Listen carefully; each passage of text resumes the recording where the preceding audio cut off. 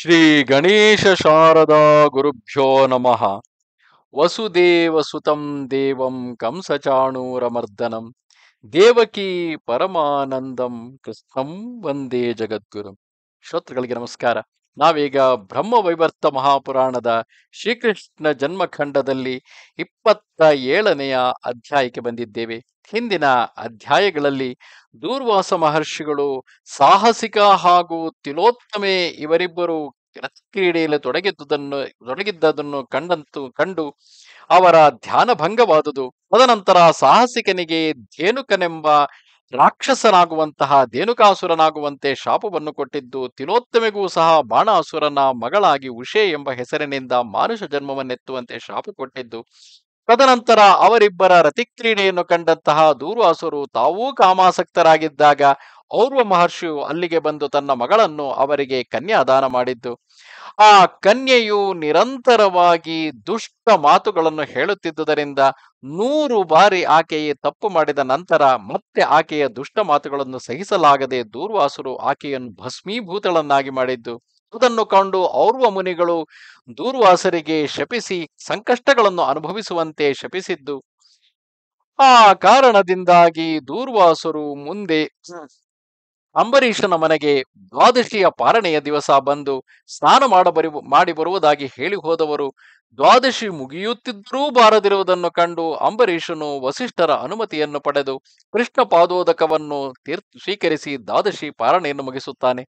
ಅಷ್ಟರಲ್ಲೇ ಬಂದಂತಹ ದೂರ್ವಾಸರು ತಮ್ಮನ್ನು ಬಿಟ್ಟು ಮಹಾರಾಜನು, ಅಂಬರೀಷ ಮಹಾರಾಜನು ತೀರ್ಥೋದಕವನ್ನು ಸೇವಿಸಿದ್ದನ್ನು ಕಂಡು ಕೋಪಗೊಂಡು ಆತನನ್ನು ಸಂಹರಿಸಲು ಒಬ್ಬ ಪುರುಷನನ್ನು ವಿಕ್, ವಿಕೃತವಾದಂತಹ ಪುರುಷನನ್ನು ಸೃಷ್ಟಿಸಿದಾಗ ಅಂಬರೀಷ ಮಹಾರಾಜನನ್ನು ರಕ್ಷಿಸುತ್ತಿದ್ದ ಸುದರ್ಶನ ಚಕ್ರವು ದೂರ್ವಾಸರನ್ನು ಅಟ್ಟಿಕೊಂಡು ಬ್ರಹ್ಮಲೋಕ, ಶಿವಲೋಕ, ವೈಕುಂಠಲೋಕವನ್ನೆಲ್ಲ ತಿರುಗಿಸಿ ಕೊನೆಗೆ ವಿಷ್ಣುವಿನಿಂದಲೂ ಕೂಡ ನನ್ನ ಭಕ್ತನಾದ ಅಂಬರೀಷನ ಮನೆಗೆ ನೀನು ಹೋಗಿ ಪಾರಣೆಯನ್ನು ಸ್ವೀಕರಿಸಿದ ನಂತರ ಮಾತ್ರವೇ ನಿನಗೆ ಸುದರ್ಶನ ಚಕ್ರದಿಂದ ಮುಕ್ತಿ ಎಂದು ತಿಳಿದುಕೊಳ್ಳುತ್ತಾರೆ. ಇದೇ ಸಂದರ್ಭದಲ್ಲಿ ವಿಷ್ಣು ಭಕ್ತರ ಮಹಿಮೆಯನ್ನು, ವಿಷ್ಣು ಭಕ್ತಿಯ ಶ್ರೇಷ್ಠತೆ, ವಿಶೇಷತೆಯನ್ನು ಜೊತೆಯಲ್ಲಿಯೇ ಆ ಸಂದರ್ಭದಲ್ಲಿ ಅಂಬರೀಷ ಮಹಾರಾಜನು ಅನುಸರಿಸುತ್ತಿದ್ದ ದ್ವಾದಶಿ ವ್ರತವನ್ನು, ದ್ವಾದಶಿಗೆ ಕ್ಷಮಿಸಿ ಏಕಾದಶಿ ವ್ರತವನ್ನು ಏಕಾದಶಿ ವ್ರತದ ನಂತರ ಮಾಡಬೇಕಾದಂತಹ ದ್ವಾದಶಿ ಪಾರಣೆಯನ್ನು, ಅದರಂತೆಯೇ ಹಿಂದಿನ ದಿನವಾದ ದಶಮಿಯ ದಿನ ಆಚರಿಸಬೇಕಾದ ನಿಯಮಗಳನ್ನು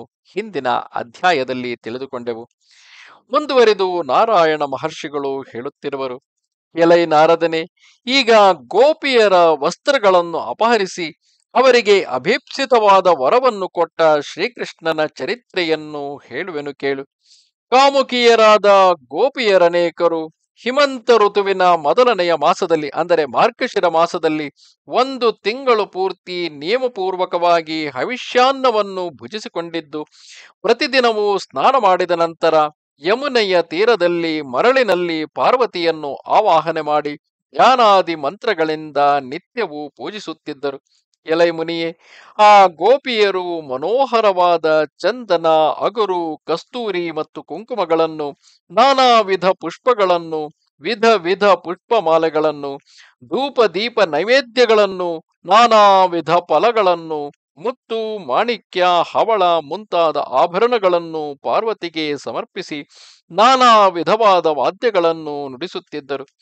ಜಗನ್ಮಾತೆಯು ಸೃಷ್ಟಿ ಸ್ಥಿತಿ ಸಂಹಾರಕಾರಿಣಿಯೂ ಆದ ಎಲವು ದೇವಿಯೇ, ನಮಗೆ ನಂದಗೋಪನ ಸುತನಾದ ಶ್ರೀಕೃಷ್ಣನು ಕಾಂತನಾಗುವಂತೆ ಅನುಗ್ರಹಿಸು ಎಂದು ಅರ್ಥವನ್ನು ಕೊಡುವ ಪ್ರಾರ್ಥನಾ ಮಂತ್ರದಿಂದ ದೇವಿಯನ್ನು ಪ್ರಾರ್ಥಿಸಿಕೊಂಡು ಅನಂತರ ಸಂಕಲ್ಪ ಮಾಡಿ ಮೂಲಮಂತ್ರೋಚ್ಚಾರಣ ಪೂರ್ವಕವಾಗಿ ದೇವಿಯನ್ನು ಪೂಜಿಸಿದರು.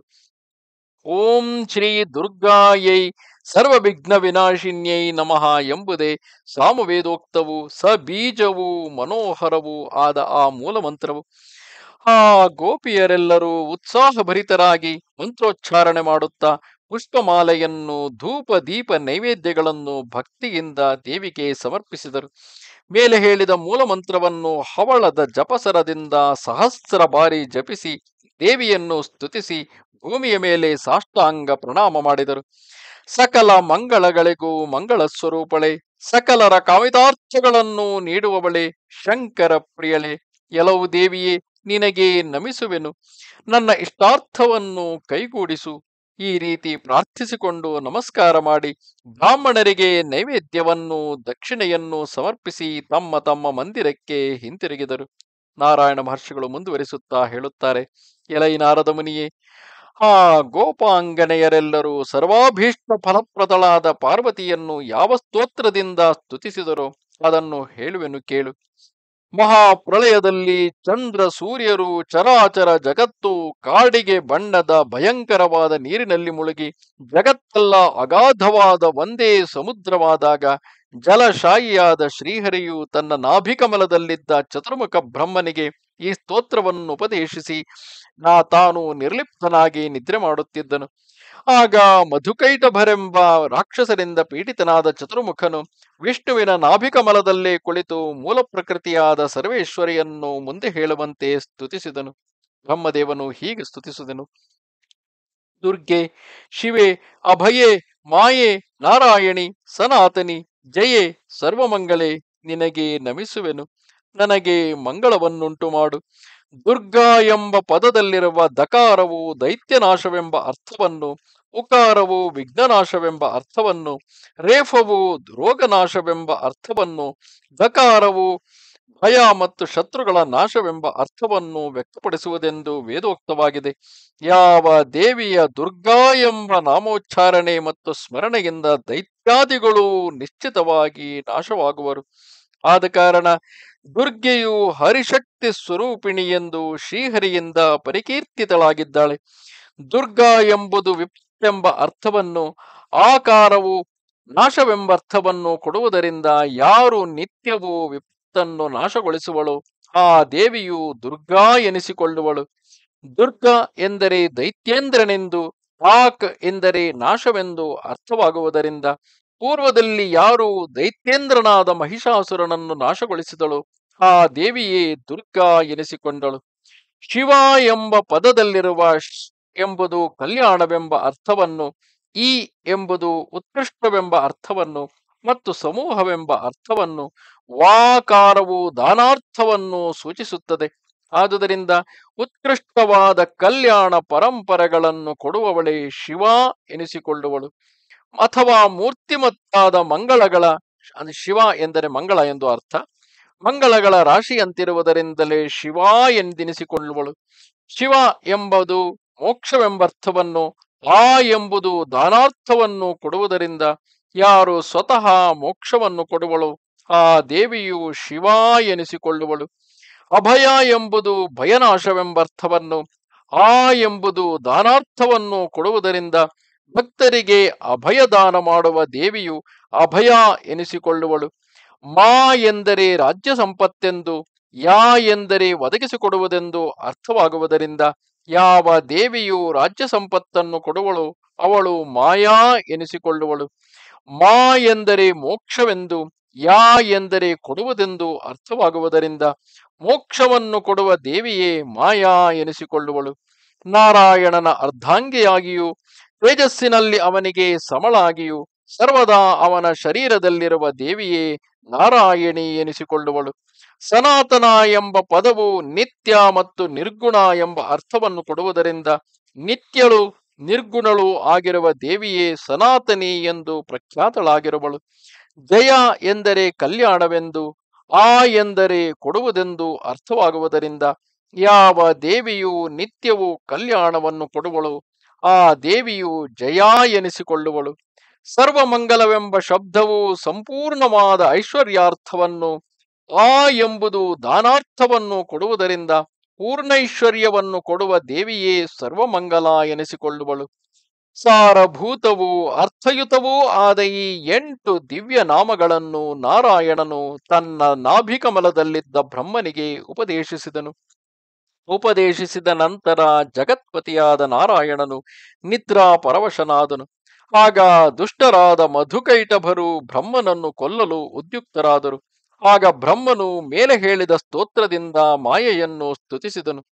ಇಂತು ಸ್ತುತಿಸಲ್ಪಟ್ಟ ದುರ್ಗಾದೇವಿಯು ಬ್ರಹ್ಮನಿಗೆ ದಿವ್ಯ ಕವಚವನ್ನು ಅನುಗ್ರಹಿಸಿದಳು. ಸರ್ವರಕ್ಷಣವೆಂಬ ಶ್ರೀಕೃಷ್ಣನ ದಿವ್ಯ ಕವಚವನ್ನು ಬ್ರಹ್ಮನಿಗೆ ಅನುಗ್ರಹಿಸಿ ಮಹಾಮಾಯೆಯು ಅಂತರ್ಧಾನವನ್ನು ಹೊಂದಿದಳು.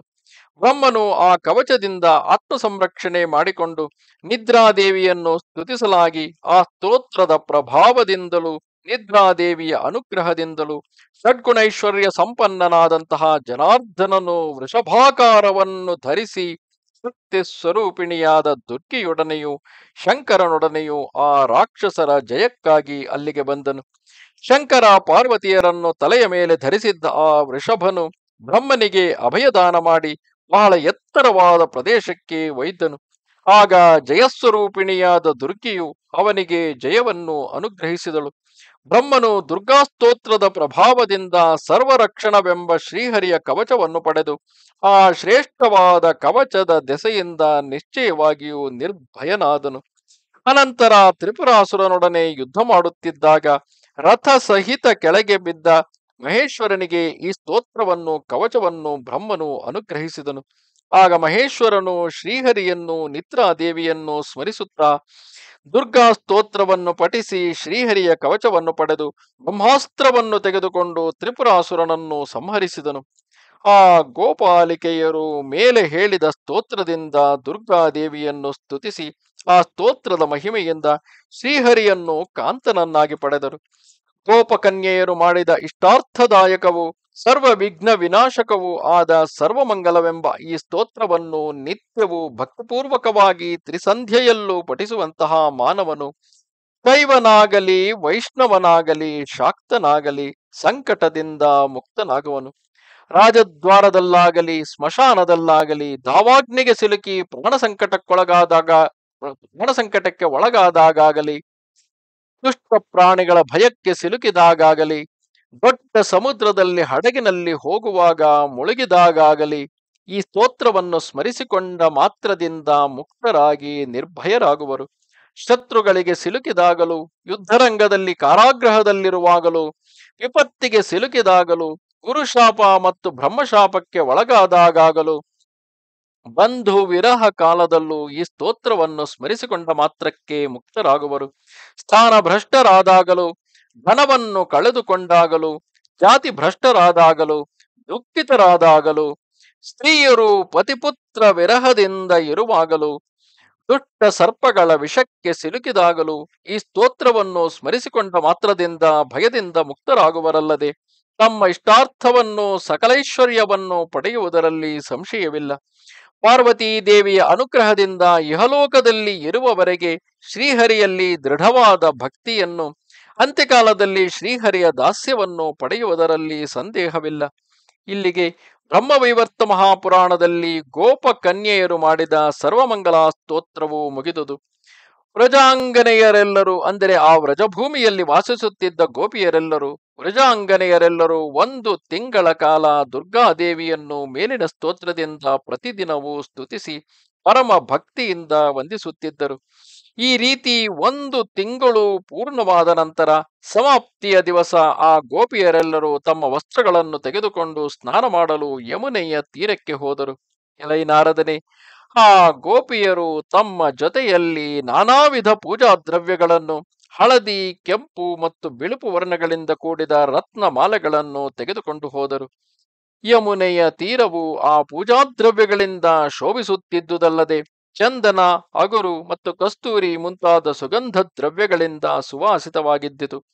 ಬಹುವಿಧ ನೈವೇದ್ಯಗಳಿಂದಲೂ, ಕಾಲದೇಶಾನುಗುಣವಾದ ಫಲಗಳಿಂದಲೂ ಧೂಪ ದೀಪಗಳಿಂದಲೂ ಕುಂಕುಮ, ಚಂದ್ರ ಮುಂತಾದ ಮಂಗಳ ದ್ರವ್ಯಗಳಿಂದಲೂ ಯಮುನೆಯ ತೀರವು ವಿರಾಜಿಸುತ್ತಿತ್ತು. ಅತ್ತ ಗೋಪಿಯರೆಲ್ಲರೂ ಕುತೂಹಲದಿಂದ ಕೂಡಿ ಶ್ರೀಕೃಷ್ಣನನ್ನು ಮನಸ್ಸಿನಲ್ಲೇ ಧ್ಯಾನಿಸುತ್ತಾ ವಸ್ತ್ರರಹಿತರಾಗಿ ಯಮುನೆಯಲ್ಲಿ ಜಲಕ್ರೀಡೆಯಾಡುತ್ತಿದ್ದರು. ಶ್ರೀಕೃಷ್ಣನಾದರೂ ಯಮುನೆಯ ತೀರದಲ್ಲಿದ್ದ ಗೋಪಿಯರ ವಸ್ತ್ರಗಳನ್ನು ವಿವಿಧ ವಿವಿಧ ಪೂಜಾ ದ್ರವ್ಯಗಳನ್ನು ನೋಡಿ ಆ ವಸ್ತ್ರಗಳನ್ನೆಲ್ಲ ಅಪಹರಿಸಿದ್ದಲ್ಲದೆ ನೈವೇದ್ಯ ಸಾಮಗ್ರಿಗಳನ್ನೆಲ್ಲ ಗೋಪಬಾಲಕರೊಡನೆ ತಿಂದು ಬಿಟ್ಟನು ಚಂಚಲ ಸ್ವಭಾವದವರಾದ ಆ ಗೋಪಬಾಲಕರೆಲ್ಲರೂ ಗೋಪಿಯರ ವಸ್ತ್ರಗಳನ್ನೆಲ್ಲ ಮೂಟೆ ಕಟ್ಟಿ ಹೆಗಲ ಮೇಲಿರಿಸಿಕೊಂಡು ಬಹಳ ದೂರ ಹೋಗಿ ನಗು ನಗುತ್ತಾ ನಿಂತುಕೊಂಡರು. ಅವರಲ್ಲಿ ಶ್ರೀಧಾಮ, ಸುಧಾಮ, ವಸುಧಾಮ, ಸುಬಲ, ಸುಪಾರ್ಶ್ವ, ಶುಭಾಂಗ ಮತ್ತು ಸುಂದರನೆಂಬ ನಾಮಧೇಯವುಳ್ಳ ಗೋಪಾಲರಿದ್ದರು. ಚಂದ್ರಭಾನ, ವೀರಭಾನ, ಸೂರ್ಯಭಾನ, ವಸುಭಾನ ಮತ್ತು ರತ್ನಭಾನರು ಸೇರಿ ದ್ವಾದಶ ಗೋಪಾಲರು ಶ್ರೀಕೃಷ್ಣನ ಆಪ್ತ ಗೆಳೆಯರಾಗಿದ್ದರು. ಶ್ರೀಕೃಷ್ಣ ಮತ್ತು ಬಲರಾಮನು ಸೇರಿ ಹದಿನಾಲ್ಕು ಜನ ಪ್ರಧಾನ ಗೋಪರು ಅಲ್ಲಿದ್ದುದಲ್ಲದೆ ಶ್ರೀಹರಿಯ ಸಮಾನ ವಯಸ್ಕರಾದ ಗೋಪರು ಕೋಟಿ ಸಂಖ್ಯಾಕವಾಗಿ ಅಲ್ಲಿದ್ದರು. ಅವರುಗಳೆಲ್ಲರೂ ವಸ್ತ್ರಗಳನ್ನು ತೆಗೆದುಕೊಂಡು ದೂರ ಹೋಗಿ ನೂರಾರು ಮೂಟೆಗಳನ್ನಾಗಿ ಕಟ್ಟಿ ಅವುಗಳನ್ನು ಎತ್ತರವಾದ ಸ್ಥಳದಲ್ಲಿರಿಸಿ ಕಟ್ಟಿಕೊಂಡು ಏನು ಅರಿಯದವರಂತೆ ನಿಂತುಕೊಂಡರು. ಶ್ರೀಕೃಷ್ಣನು ಕೂಡ ಕೆಲವು ವಸ್ತ್ರಗಳನ್ನು ತೆಗೆದುಕೊಂಡು ಮೂಟ್ಕಟ್ಟಿ ಕದಂಬ ವೃಕ್ಷದ ತುದಿಯನ್ನೇರಿ ಸಂತೋಷದಿಂದ ಗೋಪಿಯರನ್ನು ಕುರಿತು ಇಂತೆಂದನು. ಶ್ರೀಕೃಷ್ಣ ಪರಮಾತ್ಮನು ಹೇಳುತ್ತಾನೆ ಎಲವು ಗೋಪಿಯರೇ, ನಿಮ್ಮ ವ್ರತವೆಲ್ಲವೂ ಭಂಗವಾಗಿತು ನಾನು ಹೇಳುವ ಮಾತನ್ನು ಸಾವಧಾನದಿಂದ ಕೇಳಿ, ನೀವೆಲ್ಲರೂ ಮನ್ಮಥ ಕ್ರೀಡೆಗೆ ಸಿದ್ಧರಾಗಿ ವ್ರತ ಮಾಡಲು ಯೋಗ್ಯವಾದ ಈ ಮಾರ್ಕಶಿರ ಮಾಸದಲ್ಲಿ ನೀವು ಮಂಗಳಕರವಾದ ವ್ರತವನ್ನಾಚರಿಸುವುದಾಗಿ ಸಂಕಲ್ಪಿಸಿ, ಈಗ ನೀರಿನಲ್ಲಿ ವಸ್ತ್ರರಹಿತರಾಗಿ ಸ್ನಾನ ಮಾಡುತ್ತಾ ವ್ರತಕ್ಕೆ ಹಾನಿ ತಂದಿರುವಿರಲ್ಲ. ನೀವು ಧರಿಸುವ ವಸ್ತ್ರಗಳನ್ನು, ಮುಡಿಯುವ ಹೂಮಾಲೆಗಳನ್ನು, ನಿಮ್ಮ ವ್ರತಕ್ಕೆ ಯೋಗ್ಯವಾದಂತಹ ಪೂಜಾ ದ್ರವ್ಯಗಳನ್ನು ಅಪಹರಿಸಿದವರಾರು. ವೃತಾಂಗವಾಗಿ ಸ್ನಾನ ಮಾಡುವಾಗ ಯಾರು ವಸ್ತ್ರರಹಿತರಾಗಿರುವರೋ ಅವರ ವಿಷಯದಲ್ಲಿ ಸ್ವಯಂ ವರುಣನೇ ಕೋಪಗೊಳ್ಳುವನು. ಆದುದರಿಂದ ವರುಣನ ಸೇವಕರು ನಿಮ್ಮ ವಸ್ತ್ರಗಳನ್ನು, ಪೂಜಾ ಸಾಮಗ್ರಿಗಳನ್ನು ಅಪಹರಿಸಿರುವರು. ಈಗ ನೀವೆಲ್ಲರೂ ವಸ್ತ್ರರಹಿತರಾಗಿ ಹೇಗೆ ಹೋಗುವಿರಿ? ನೀವು ಹೋಗದಿದ್ದರೆ ವ್ರತವು ಪೂರ್ಣವಾಗುವುದಾದರೂ ಹೇಗೆ? ನಿಮ್ಮ ವ್ರತದಿಂದ ಆರಾಧ್ಯಳಾದ ದೇವಿಯು ನಿಮ್ಮ ವಸ್ತುಗಳನ್ನೇಕೆ ರಕ್ಷಿಸಲಿಲ್ಲ? ನಿಮ್ಮ ಪೂಜೆಯಿಂದ ತುಷ್ಟಳಾಗಿರುವ ಪೂಜ್ಯಳಾದ ಆ ದೇವಿಯನ್ನು ಧ್ಯಾನಿಸಿರಿ. ನಿಮ್ಮ ಆರಾಧ್ಯ ದೇವಿಯು ಪೂಜಾ ಸಾಮಗ್ರಿಗಳನ್ನು ರಕ್ಷಿಸಿಕೊಡಲು ಅಸಮರ್ಥಳಾಗಿದ್ದಾಳೆ. ಅಂತಹ ಸುರೇಶ್ವರಿಯು ನಿಮ್ಮ ವ್ರತಫಲವನ್ನು ತಾನೇ ನಿಮಗೆ ಹೇಗೆ ಕೊಟ್ಟಾಳು? ಯಾರು ಫಲಪ್ರದಾನದಲ್ಲಿ ಸಮರ್ಥಳೋ, ಆ ದೇವಿಯು ಸಕಲ ಕರ್ಮಗಳಲ್ಲೂ ಶಕ್ತಳಾಗಿರಬೇಕು. ಶ್ರೀಕೃಷ್ಣನಾಡಿದ ಈ ಮಾತುಗಳನ್ನು ಕೇಳಿ ಕೋಪಾಂಗನೆಯರೆಲ್ಲರೂ ಚಿಂತಾಕ್ರಾಂತರಾಗಿ ತಮ್ಮ ವಸ್ತ್ರಗಳು, ಪೂಜಾ ಸಾಮಗ್ರಿಗಳು ಯಮುನಾ ತೀರದಿಂದ ಮಾಯವಾಗಿರುವುದನ್ನು ನೋಡಿದರು. ಅವರು ವಸ್ತ್ರರಹಿತರಾಗಿ ನೀರಿನಲ್ಲಿ ನಿಂತಿದ್ದಂತೆಯೇ ತಮ್ಮ ನಮ್ಮ ವಸ್ತ್ರಗಳು, ಪೂಜಾ ಸಾಮಗ್ರಿಗಳು ಎಲ್ಲಿ ಹೋದವು? ಈಗ ನಮಗೇನು ಗತಿ ಎಂದು ಚಿಂತಾಕ್ರಾಂತರಾಗಿ ಹತ್ತು ಗೋಳಾಡಿದರು. ಇಂತೂ ಬಹಳ ಹೊತ್ತು ಗೋಳಾಡಿದರೂ ಪ್ರಯೋಜನವಿಲ್ಲದೆ ಆ ಗೋಪಕನ್ನಿಕೆಯರೆಲ್ಲರೂ ಭಕ್ತಿ ವಿನಯಪೂರ್ವಕವಾಗಿ ಕೈಮುಗಿದುಕೊಂಡು ಶ್ರೀಕೃಷ್ಣನನ್ನು ಕುರಿತು ಹೀಗೆ ಹೇಳುತ್ತಾರೆ. ಆ ಗೋಪಾಲಿಕೆಯರು, ಎಲೈ ಸದೀಶ್ವರನೇ, ನಿನ್ನ ಸೇವಕಿಯರಾದ ನಾವು ಧರಿಸುವ ವಸ್ತ್ರಗಳನ್ನು ನೀನಲ್ಲದೆ ಮತ್ತಾರು ಮುಟ್ಟಬಲ್ಲರೆಂಬುದನ್ನು ನೀನೇ ಪರ್ಯಾಲೋಚಿಸಿ ನೋಡು. ಎಲೈ ವೇದಜ್ಞನೇ, ವೇ ವರ್ತಾರ್ಹವಾದ ಆ ವಸ್ತುಗಳೆಲ್ಲವೂ ಈಗ ದೇವಸ್ವತ್ತಾಗಿದೆ. ದೇವರಿಗೆ ಸಮರ್ಪಿಸದಿರುವ ಆ ವಸ್ತುಗಳನ್ನು ನೀನು ತೆಗೆದುಕೊಂಡಿರುವುದು ಉಚಿತವಲ್ಲ. ಅಂದರೆ ಇನ್ನು ದೇವರಿಗೆ ಸಮರ್ಪಿತವಾಗಿರದೇ ಇರುವುದರಿಂದ ಆ ವಸ್ತು ವಸ್ತುಗಳನ್ನು, ಪೂಜಾರ್ಹ ವಸ್ತುಗಳನ್ನು ನೀನು ತೆಗೆದುಕೊಂಡಿರುವುದು ಉಚಿತವಲ್ಲ. ಹೋಗಲಿ, ಒಗೆದ ನಮ್ಮ ವಸ್ತ್ರಗಳನ್ನಾದರೂ ಕೊಡು. ಅದನ್ನು ಧರಿಸಿ ಬೇರೆ ಪೂಜಾ ಸ, ಪೂಜಾ ಸಾಮಗ್ರಿಗಳನ್ನು ಸಿದ್ಧಪಡಿಸಿಕೊಂಡು ವ್ರತವನ್ನು ಪೂರ್ಣಗೊಳಿಸುತ್ತೇವೆ. ಆ ನೈವೇದ್ಯ ದ್ರವ್ಯಗಳನ್ನು ನೀನೇ ತಿನ್ನು. ಗೋಪಿಯರು ಹೀಗೆ ಹೇಳುತ್ತಿರುವಾಗಲೇ ಶ್ರೀಧಾಮನೆಂಬ ಗೋಪನು ಅಲ್ಲಿಗೆ ಬಂದು ವಸ್ತ್ರದ ಗಂಟೊಂದನ್ನು ಆ ಗೋಪಿಯರಿಗೆ ತೋರಿಸಿ ಅವರು ನೋಡುತ್ತಿರುವಂತೆಯೇ ದೂರ ಓಡಿದನು. ಈ ರೀತಿ ವಸ್ತ್ರ ಸಮೇತನಾಗಿ ಓಡುತ್ತಿರುವ ಗೋಪಾಲನನ್ನು ನೋಡಿ ಗೋಪಿಯರಲ್ಲಿ ಪ್ರಧಾನಳಾದ ರಾಧೆಯು ಬಹಳ ಹೊತ್ತು ನೀರಿನಲ್ಲಿ ನೆನೆದು ಕೋಪಗೊಂಡವಳಾಗಿ ತನ್ನ ಗೆಳತಿಯರನ್ನು ಕುರಿತು ಇಂತೆಂದಳು. ಆ ರಾಧಿಕಾದೇವಿಯು ಹೇಳುತ್ತಾಳೆ ಕೆಲವು ಸುಶೀಲೆ ಶಶಿಕಲೆಯರೇ ಚಂದ್ರಮುಖಿ ಮಾಧವಿಯರೇ, ಕದಂಬಮಾಲೆ, ಕುಂತಿ, ಯಮುನೆ ಮತ್ತು ಸರ್ವಮಂಗಳೆಯರೇ, ಪದ್ಮಮುಖಿ, ಸಾವಿತ್ರಿ, ಪಾರಿಜಾತೆ ಮತ್ತು ಜಾಹ್ನವಿಯರೇ, ಸುಧಾಮುಖಿ, ಶುಭೆ, ಪದ್ಮೆ, ಗೌರಿ ಮತ್ತು ಸ್ವಯಂ ಪ್ರಭೆಯರೇ ನೀವೆಲ್ಲರೂ ಹೋಗಿ ಆ ಗೋಪಬಾಲನನ್ನು ಬಂಧಿಸಿ ಇಲ್ಲಿಗೆ ಕರೆತನ್ನಿರಿ. ಕಾಲಿಕೆ ಕಮಲೆ ದುರ್ಗೆ ಸರಸ್ವತಿ ಮತ್ತು ಭಾರತೀಯರೇ, ಅಪೂರ್ಣೆ, ರತಿ, ಸಂಗೆ, ಅಂಬಿಕೆ ಸತಿ ಮತ್ತು ಸುಂದರಿಯರೇ, ನೀವೆಲ್ಲರೂ ಹೋಗಿ ಆ ಗೋಪಬಾಲನನ್ನು ಬಂಧಿಸಿ ಕರೆತನ್ನಿರಿ. ರಾಧೆಯ ಆಜ್ಞಾವಚನವನ್ನು ಕೇಳಿ ಆ ಗೋಪಿಯರೆಲ್ಲರೂ ಜಾಗ್ರತೆಯಾಗಿ ನೀರಿನಿಂದ ಹೊರಕ್ಕೆ ಬಂದು ತಮ್ಮ ಕೈಯಿಂದ ಯೋನಿ ಪ್ರದೇಶವನ್ನು ಮುಚ್ಚಿಕೊಂಡು ಆ ಗೋಪನನ್ನು ಅಟ್ಟಿಸಿಕೊಂಡು ಹೋದರು. ಇವರ ಸಖಿಯರಾದ ಸಾವಿರಾರು ಗೋಪಿಯರು ಕೂಡ ಕೋಪದಿಂದ ಕಣ್ಣುಗಳನ್ನು ಕೆಂಪಗೆ ಮಾಡಿಕೊಂಡು ನಗ್ನರಾಗಿಯೇ ಅವರನ್ನು ಹಿಂಬಾಲಿಸಿದರು. ಆ ಎಲ್ಲ ಗೋಪಿಯರು ಕೂಡ ಬಟ್ಟೆಯ ಗಂಟನ್ನು ಎತ್ತಿಕೊಂಡು ವೇಗವಾಗಿ ಓಡಿ ಹೋಗುತ್ತಿರುವ ಶ್ರೀರಾಮನನ್ನು ಹಿಂಬಾಲಿಸಿಕೊಂಡು ಓಡಿದರು. ಇತರ ಗೋಪರೆಲ್ಲರೂ ವಸ್ತ್ರ ಸಹಿತ ಕುಳಿತಿದ್ದ ಸ್ಥಳಕ್ಕೆ ಶ್ರೀರಾಮನು ಜಾಗ್ರತೆ ಓಡಿದನು. ಗೋಪಿಯರು ಕೂಡ ಬಲವನ್ನು ಪ್ರಯೋಗಿಸಿ ಬಹಳ ವೇಗವಾಗಿ ಅವನನ್ನು ಹಿಂಬಾಲಿಸಿದರು. ಅಲ್ಲಿ ಅವರೆಲ್ಲರೂ ವಸ್ತ್ರಗಳನ್ನು ಅಪಹರಿಸಿಕೊಂಡು ಹೋಗಿದ್ದ ಗೋಪಾಲರನ್ನು ಮುತ್ತಿದರು. ಆಗ ಹೆದರಿದ ಆ ಗೋಪಬಾಲರೆಲ್ಲರೂ ಬಟ್ಟೆಯ ಗಂಟಿನೊಡನೆ ಕುಳಿತಿದ್ದ ಶ್ರೀಕೃಷ್ಣನ ಸಮೀಪಕ್ಕೆ ಓಡಿದರು. ಆಗ ಆ ಗೋಪಿಯರು ಜಾಗೃತಿಯಾಗಿ ಬಂದು ಶ್ರೀಕೃಷ್ಣನೊಡಗಿದ್ದ, ಶ್ರೀಕೃಷ್ಣನೊಡನೆ ಇದ್ದಂತಹ ಆ ಗೋಪಾಲಕರನ್ನು ತಡೆದರು. ಕೂಡಲೇ ಆ ಗೋಪಾಲಕರು ಹೆದರಿ ತಮ್ಮಲ್ಲಿದ್ದ ವಸ್ತ್ರಗಳನ್ನು ಮಾಧವನಿಗೆ ಕೊಟ್ಟರು. ಮಾಧವನಾದರೂ ತಾನು ಕುಳಿತಿದ್ದ ಕದಂಬ ವೃಕ್ಷದ ಕವಲು ಕವಲುಗಳಲ್ಲೂ ಆ ವಸ್ತ್ರದ ಗಂಟುಗಳನ್ನಿಟ್ಟನು. ಆ ವಿವಿಧ ವಸ್ತ್ರಗಳಿಂದ ಕದಂಬ ವೃಕ್ಷವು ಮನೋಹರವಾಗಿ ಕಂಗೊಳಿಸಿತು. ಇಂತು ವಸ್ತ್ರದ ಗಂಟುಗಳನ್ನೆಲ್ಲ ಮರದ ಕವಲುಗಳಲ್ಲಿಟ್ಟು ಶ್ರೀಕೃಷ್ಣನು ಆ ಗೋಪಿಯರನ್ನು ಕುರಿತು ಕೆಲವು ಪರಿಹಾಸ ವಚನಗಳನ್ನಾಡಿದನು. ಶ್ರೀಕೃಷ್ಣನು ಹೇಳುತ್ತಾನೆ ಕೆಲವು ಗೋಪಾಲಿಕೆಯರೇ, ಬೆತ್ತಲೆಯಾಗಿರುವ ನೀವು ಈಗ ಏನು ಮಾಡುವಿರಿ? ವಸ್ತ್ರಗಳನ್ನು ನೀವು ಬೇಡಬೇಕಾದರೆ ಎರಡೂ ಕೈಗಳನ್ನು ಜೋಡಿಸಿ ನನಗೆ ಕೈ ಮುಗಿಯಿರಿ ನಿಮ್ಮ ಒಡತಿಯಾದ ರಾಧೆಯ ಸಮೀಪಕ್ಕೆ ಹೋಗಿ ಈ ಮಾತನ್ನು ಹೇಳು. ಅವಳು ಜಾಗ್ರತೆ ಬಂದು ಕೈ ಮುಗಿದುಕೊಂಡು ವಸ್ತ್ರಯಾಚನೆಯನ್ನು ಮಾಡಲಿ. ಇಲ್ಲವಾದರೆ ನಾನು ನಿಮ್ಮ ವಸ್ತ್ರಗಳನ್ನು ಹಿಂದಕ್ಕೆ ಕೊಡುವುದಿಲ್ಲ. ನಿಮ್ಮ ಒಡತಿಯಾದ ರಾಧೆಯು ನನ್ನನ್ನು ಈಗ ಏನು ತಾನೇ ಮಾಡಬಲ್ಲಳು. ನಿಮ್ಮ ವ್ರತದಿಂದ ಆರಾಧ್ಯಳಾದ ಯಾವ ದೇವಿಯುಂಟು? ಆ ದೇವಿಯು ತಾನೇ ನನ್ನನ್ನು ಏನು ಮಾಡಿಯಾಳು? ಈ ರೀತಿ ನಾನು ಹೇಳಿದೆನೆಂದು ನೀವು ಹೋಗಿ ರಾಧೆಗೆ ಹೇಳಿ.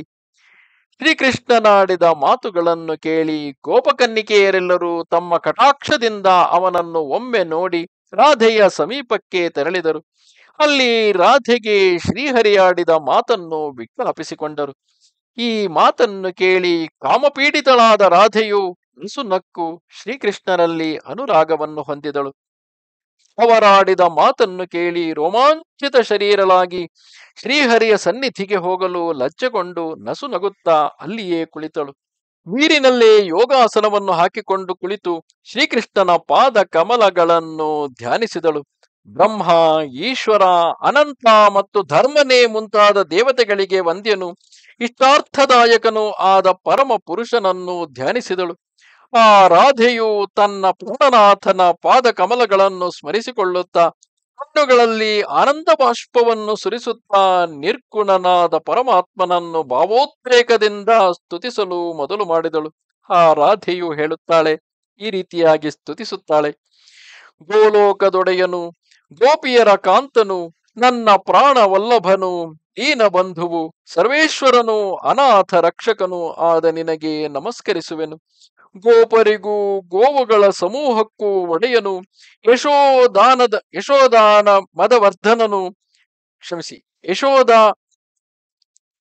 ಯಶೋದನ ಮ ಬಹುಶಃ ವ್ಯತ್ಯಾಸ ಇರಬೇಕೆಂದು ಕಾಣುತ್ತದೆ. ನಂದಾತ್ಮ ಎಂದ್ರೆ ಯಶೋದೆಯ ಮಗನು, ನಂದನ ಆತ್ಮಜನು, ಸದಾನಂದನು ಆದ ನಿತ್ಯಾನಂದನಿಗೆ ನಮಿಸುವೆನು. ದೇವೇಂದ್ರನ ಮಮಕಾರವನ್ನು ಮುರಿದವನು, ಬ್ರಹ್ಮನ ದರ್ಪವನ್ನು ನಾಶಗೊಳಿಸಿದವನು ಕಾಳಿಯನನ್ನು ದಮನ ಮಾಡಿದವನು ನನ್ನ ಪ್ರಾಣನಾಥನು, ಆದ ಎಲೈ ಕೃಷ್ಣನೇ, ನಿನಗೆ ನಮಿಸುವೆನು. ಶಿವ ಅನಂತ, ಬ್ರಹ್ಮ ಮುಂತಾದವರಿಗೆ ಒಡೆಯನು.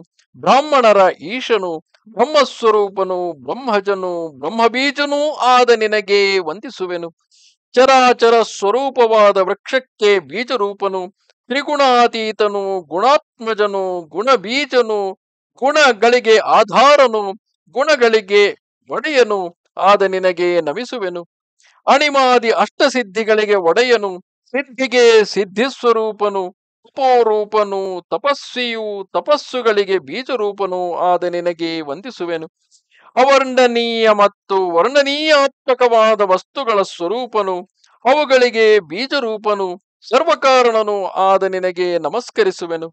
ನಾನು ಅಂದರೆ ರಾಧೆಯು ಸರಸ್ವತಿ, ಲಕ್ಷ್ಮಿ, ದುರ್ಗಿ, ಗಂಗೆ ಮತ್ತು ಸಾವಿತ್ರಿ ದೇವಿಯರು ಯಾರ ಪಾದ ಕಮಲಗಳ ಅರ್ಚನೆಯಿಂದ ನಿತ್ಯವೂ ಪೂಜ್ಯರೆನಿಸುವೆವು, ಆ ಮಹಾತ್ಮನಿಗೆ ನಮಸ್ಕಾರ ಮಾಡುವೆನು. ಯಾವ ಪರಮಾತ್ಮನ ಸೇವಕರ ಸ್ಪರ್ಶದಿಂದಲೂ ಮತ್ತು ಅನವರತ ಧ್ಯಾನದಿಂದಲೂ ತೀರ್ಥಗಳೆಲ್ಲ ಪವಿತ್ರವೆನಿಸುವವು, ಅಂತಹ ಭಗವಂತನಿಗೆ ನಮಸ್ಕರಿಸುವೆನು. ಈ ರೀತಿಯಾಗಿ ರಾಧಾದೇವಿಯು ನೀರಿನಲ್ಲಿ ನಿಂತುಕೊಂಡೇ ಶ್ರೀಕೃಷ್ಣ ಪರಮಾತ್ಮನನ್ನು ಸ್ತುತಿಸಿ, ಮನಸ್ಸನ್ನು, ಪ್ರಾಣಗಳನ್ನು ಶ್ರೀಕೃಷ್ಣನಲ್ಲಿ ಐಕ್ಯಗೊಳಿಸಿ ಅಚಲಲಾಗಿ ನಿಂತಳು. ರಾಧಾದೇವಿಯು ಮಾಡಿದ ಈ ಶ್ರೀಕೃಷ್ಣನ ಸ್ತೋತ್ರವನ್ನು ಮೂರು ಸಂಧ್ಯಾಕಾಲದಲ್ಲೂ ಪಠಿಸುವ ಮನುಜನು ಹರಿಭಕ್ತಿಯನ್ನು, ಹರಿದಾಸ್ಯವನ್ನು ಪಡೆಯುವುದಲ್ಲದೆ ರಾಧಾದೇವಿಯ ಅನುಗ್ರಹಕ್ಕೆ ನಿಶ್ಚಯವಾಗಿಯೂ ಪಾತ್ರನಾಗುವನು. ವಿಪತ್ಕಾಲದಲ್ಲಿ ಇದನ್ನು ಪಠಿಸುವವನು ಕೂಡಲೇ ಸಂಪತ್ತನ್ನು ಪಡೆಯುವನು. ಬಹಳ ಹಿಂದೆ ಕಳೆದು ಹೋದ ಮತ್ತು ಅಪಹೃತವಾದ ದ್ರವ್ಯವು ಪುನಃ ಅವನಿಗೆ ದೊರೆಯುವುದು. ಈ ಸ್ತೋತ್ರ ಪಾಠಕನ ಬಂಧುಗಳು ವೃದ್ಧಿಯಾಗುವುದಲ್ಲದೆ ಅವನ ಮನಸ್ಸು ಸರ್ವದಾ ಪ್ರಸನ್ನವಾಗಿರುವುದು. ಚಿಂತಾಗ್ರಸ್ತನು ಇದನ್ನು ಪಠಿಸಿದರೆ ಮನಃಶಾಂತಿಯನ್ನು ಪಡೆಯುವನು. ಪ್ರತಿಪುತ್ರರ ವಿರಹ ಕಾಲದಲ್ಲಾಗಲಿ ಪುತ್ರರ ವಿರಹದಲ್ಲಾಗಲಿ ಒಂದು ತಿಂಗಳ ಕಾಲ ಇದನ್ನು ಭಕ್ತಿಯಿಂದ ಪಠಿಸುವವರು ಕೂಡಲೇ ಅವರ ಸಂದರ್ಶನವನ್ನು ಪಡೆಯುವರು. ಅವಿವಾಹಿತವಾದ ಕನ್ಯೆಯು ಭಕ್ತಿಪೂರ್ವಕವಾಗಿ ಈ ಸ್ತೋತ್ರವನ್ನು ಒಂದು ವರ್ಷ ಕಾಲ ಕೇಳಿದುದಾದರೆ ಗುಣವಂತನು ಶ್ರೀಕೃಷ್ಣನಿಗೆ ಸಮಾನನು ಆದ ಪತಿಯನ್ನು ನಿಶ್ಚಯವಾಗಿಯೂ ಪಡೆಯುವಳು. ಇಲ್ಲಿಗೆ ಬ್ರಹ್ಮವೈವರ್ತ ಮಹಾಪುರಾಣದ ಶ್ರೀಕೃಷ್ಣ ಜನ್ಮಖಂಡದಲ್ಲಿ ರಾಧಾಕೃತವಾದ ಶ್ರೀಕೃಷ್ಣ ಸ್ತೋತ್ರವು ಮುಗಿದುದು. ಮೇಲೆ ಹೇಳಿದ ರೀತಿಯಲ್ಲಿ ರಾಧಾದೇವಿಯು ನೀರಿನಲ್ಲಿ ನಿಂತಿರುವಂತೆಯೇ ಶ್ರೀಕೃಷ್ಣನ ಚರಣ ಕಮಲಗಳನ್ನು ಸ್ಮರಿಸಿಕೊಂಡು ಸ್ತುತಿಸಿ ಕಣ್ತೆರೆದು ಜಗತ್ತೆಲ್ಲವೂ ಕೃಷ್ಣಮಯವಾಗಿರುವಂತೆ ಕಂಡಳು. ಎಲೈನಾರದನೆ, ಯಮುನಾ ತೀರವು ಪೂಜಾದ್ರವ್ಯಗಳಿಂದಲೂ ದಿವ್ಯ ವಸ್ತ್ರಗಳಿಂದಲೂ ಕೂಡಿರುವುದನ್ನು ನೋಡಿ ರಾಧೆಯು ಇದೇನು ನಿದ್ರಾವಸ್ಥೆಯೋ ಅಥವಾ ಸ್ವಪ್ನಾವಸ್ಥೆಯೋ ಎಂದು ಸಂಶಯಪಟ್ಟಳು. ಮೊದಲು ಯಾವ ಸ್ಥಾನದಲ್ಲಿ, ಯಾವ ಪೀಠದ ಮೇಲೆ, ಯಾವ ಯಾವ ದ್ರವ್ಯಗಳನ್ನಿಟ್ಟಿದ್ದರು? ಆಯಾ ಸ್ಥಾನದಲ್ಲಿ ಅದೇ ಪೀಠದ ಮೇಲೆ ಆಯಾಯ ದ್ರವ್ಯಗಳನ್ನು ಮತ್ತು ವಸ್ತ್ರಗಳನ್ನು ಗೋಪಕನ್ನಿಕೆಯರು ಪಡೆದರು. ಅನಂತರ ಅವರೆಲ್ಲರೂ ನೀರಿನಿಂದ ಹೊರಕ್ಕೆ ಬಂದು ತಮ್ಮ ತಮ್ಮ ವಸ್ತ್ರಾಭರಣಗಳನ್ನು ಧರಿಸಿ, ತಮ್ಮ ಅಭೀಪ್ಸಿತವಾದ ವ್ರತವನ್ನು ಸಾಂಗಗೊಳಿಸಿ, ದೇವಿಯ ವರವನ್ನು ಪಡೆದು ಅವರೆಲ್ಲರ, ಅವರೆಲ್ಲರೂ ತಮ್ಮ ತಮ್ಮ ಮನೆಗೆ ಹೊರಟು ಹೋದರು.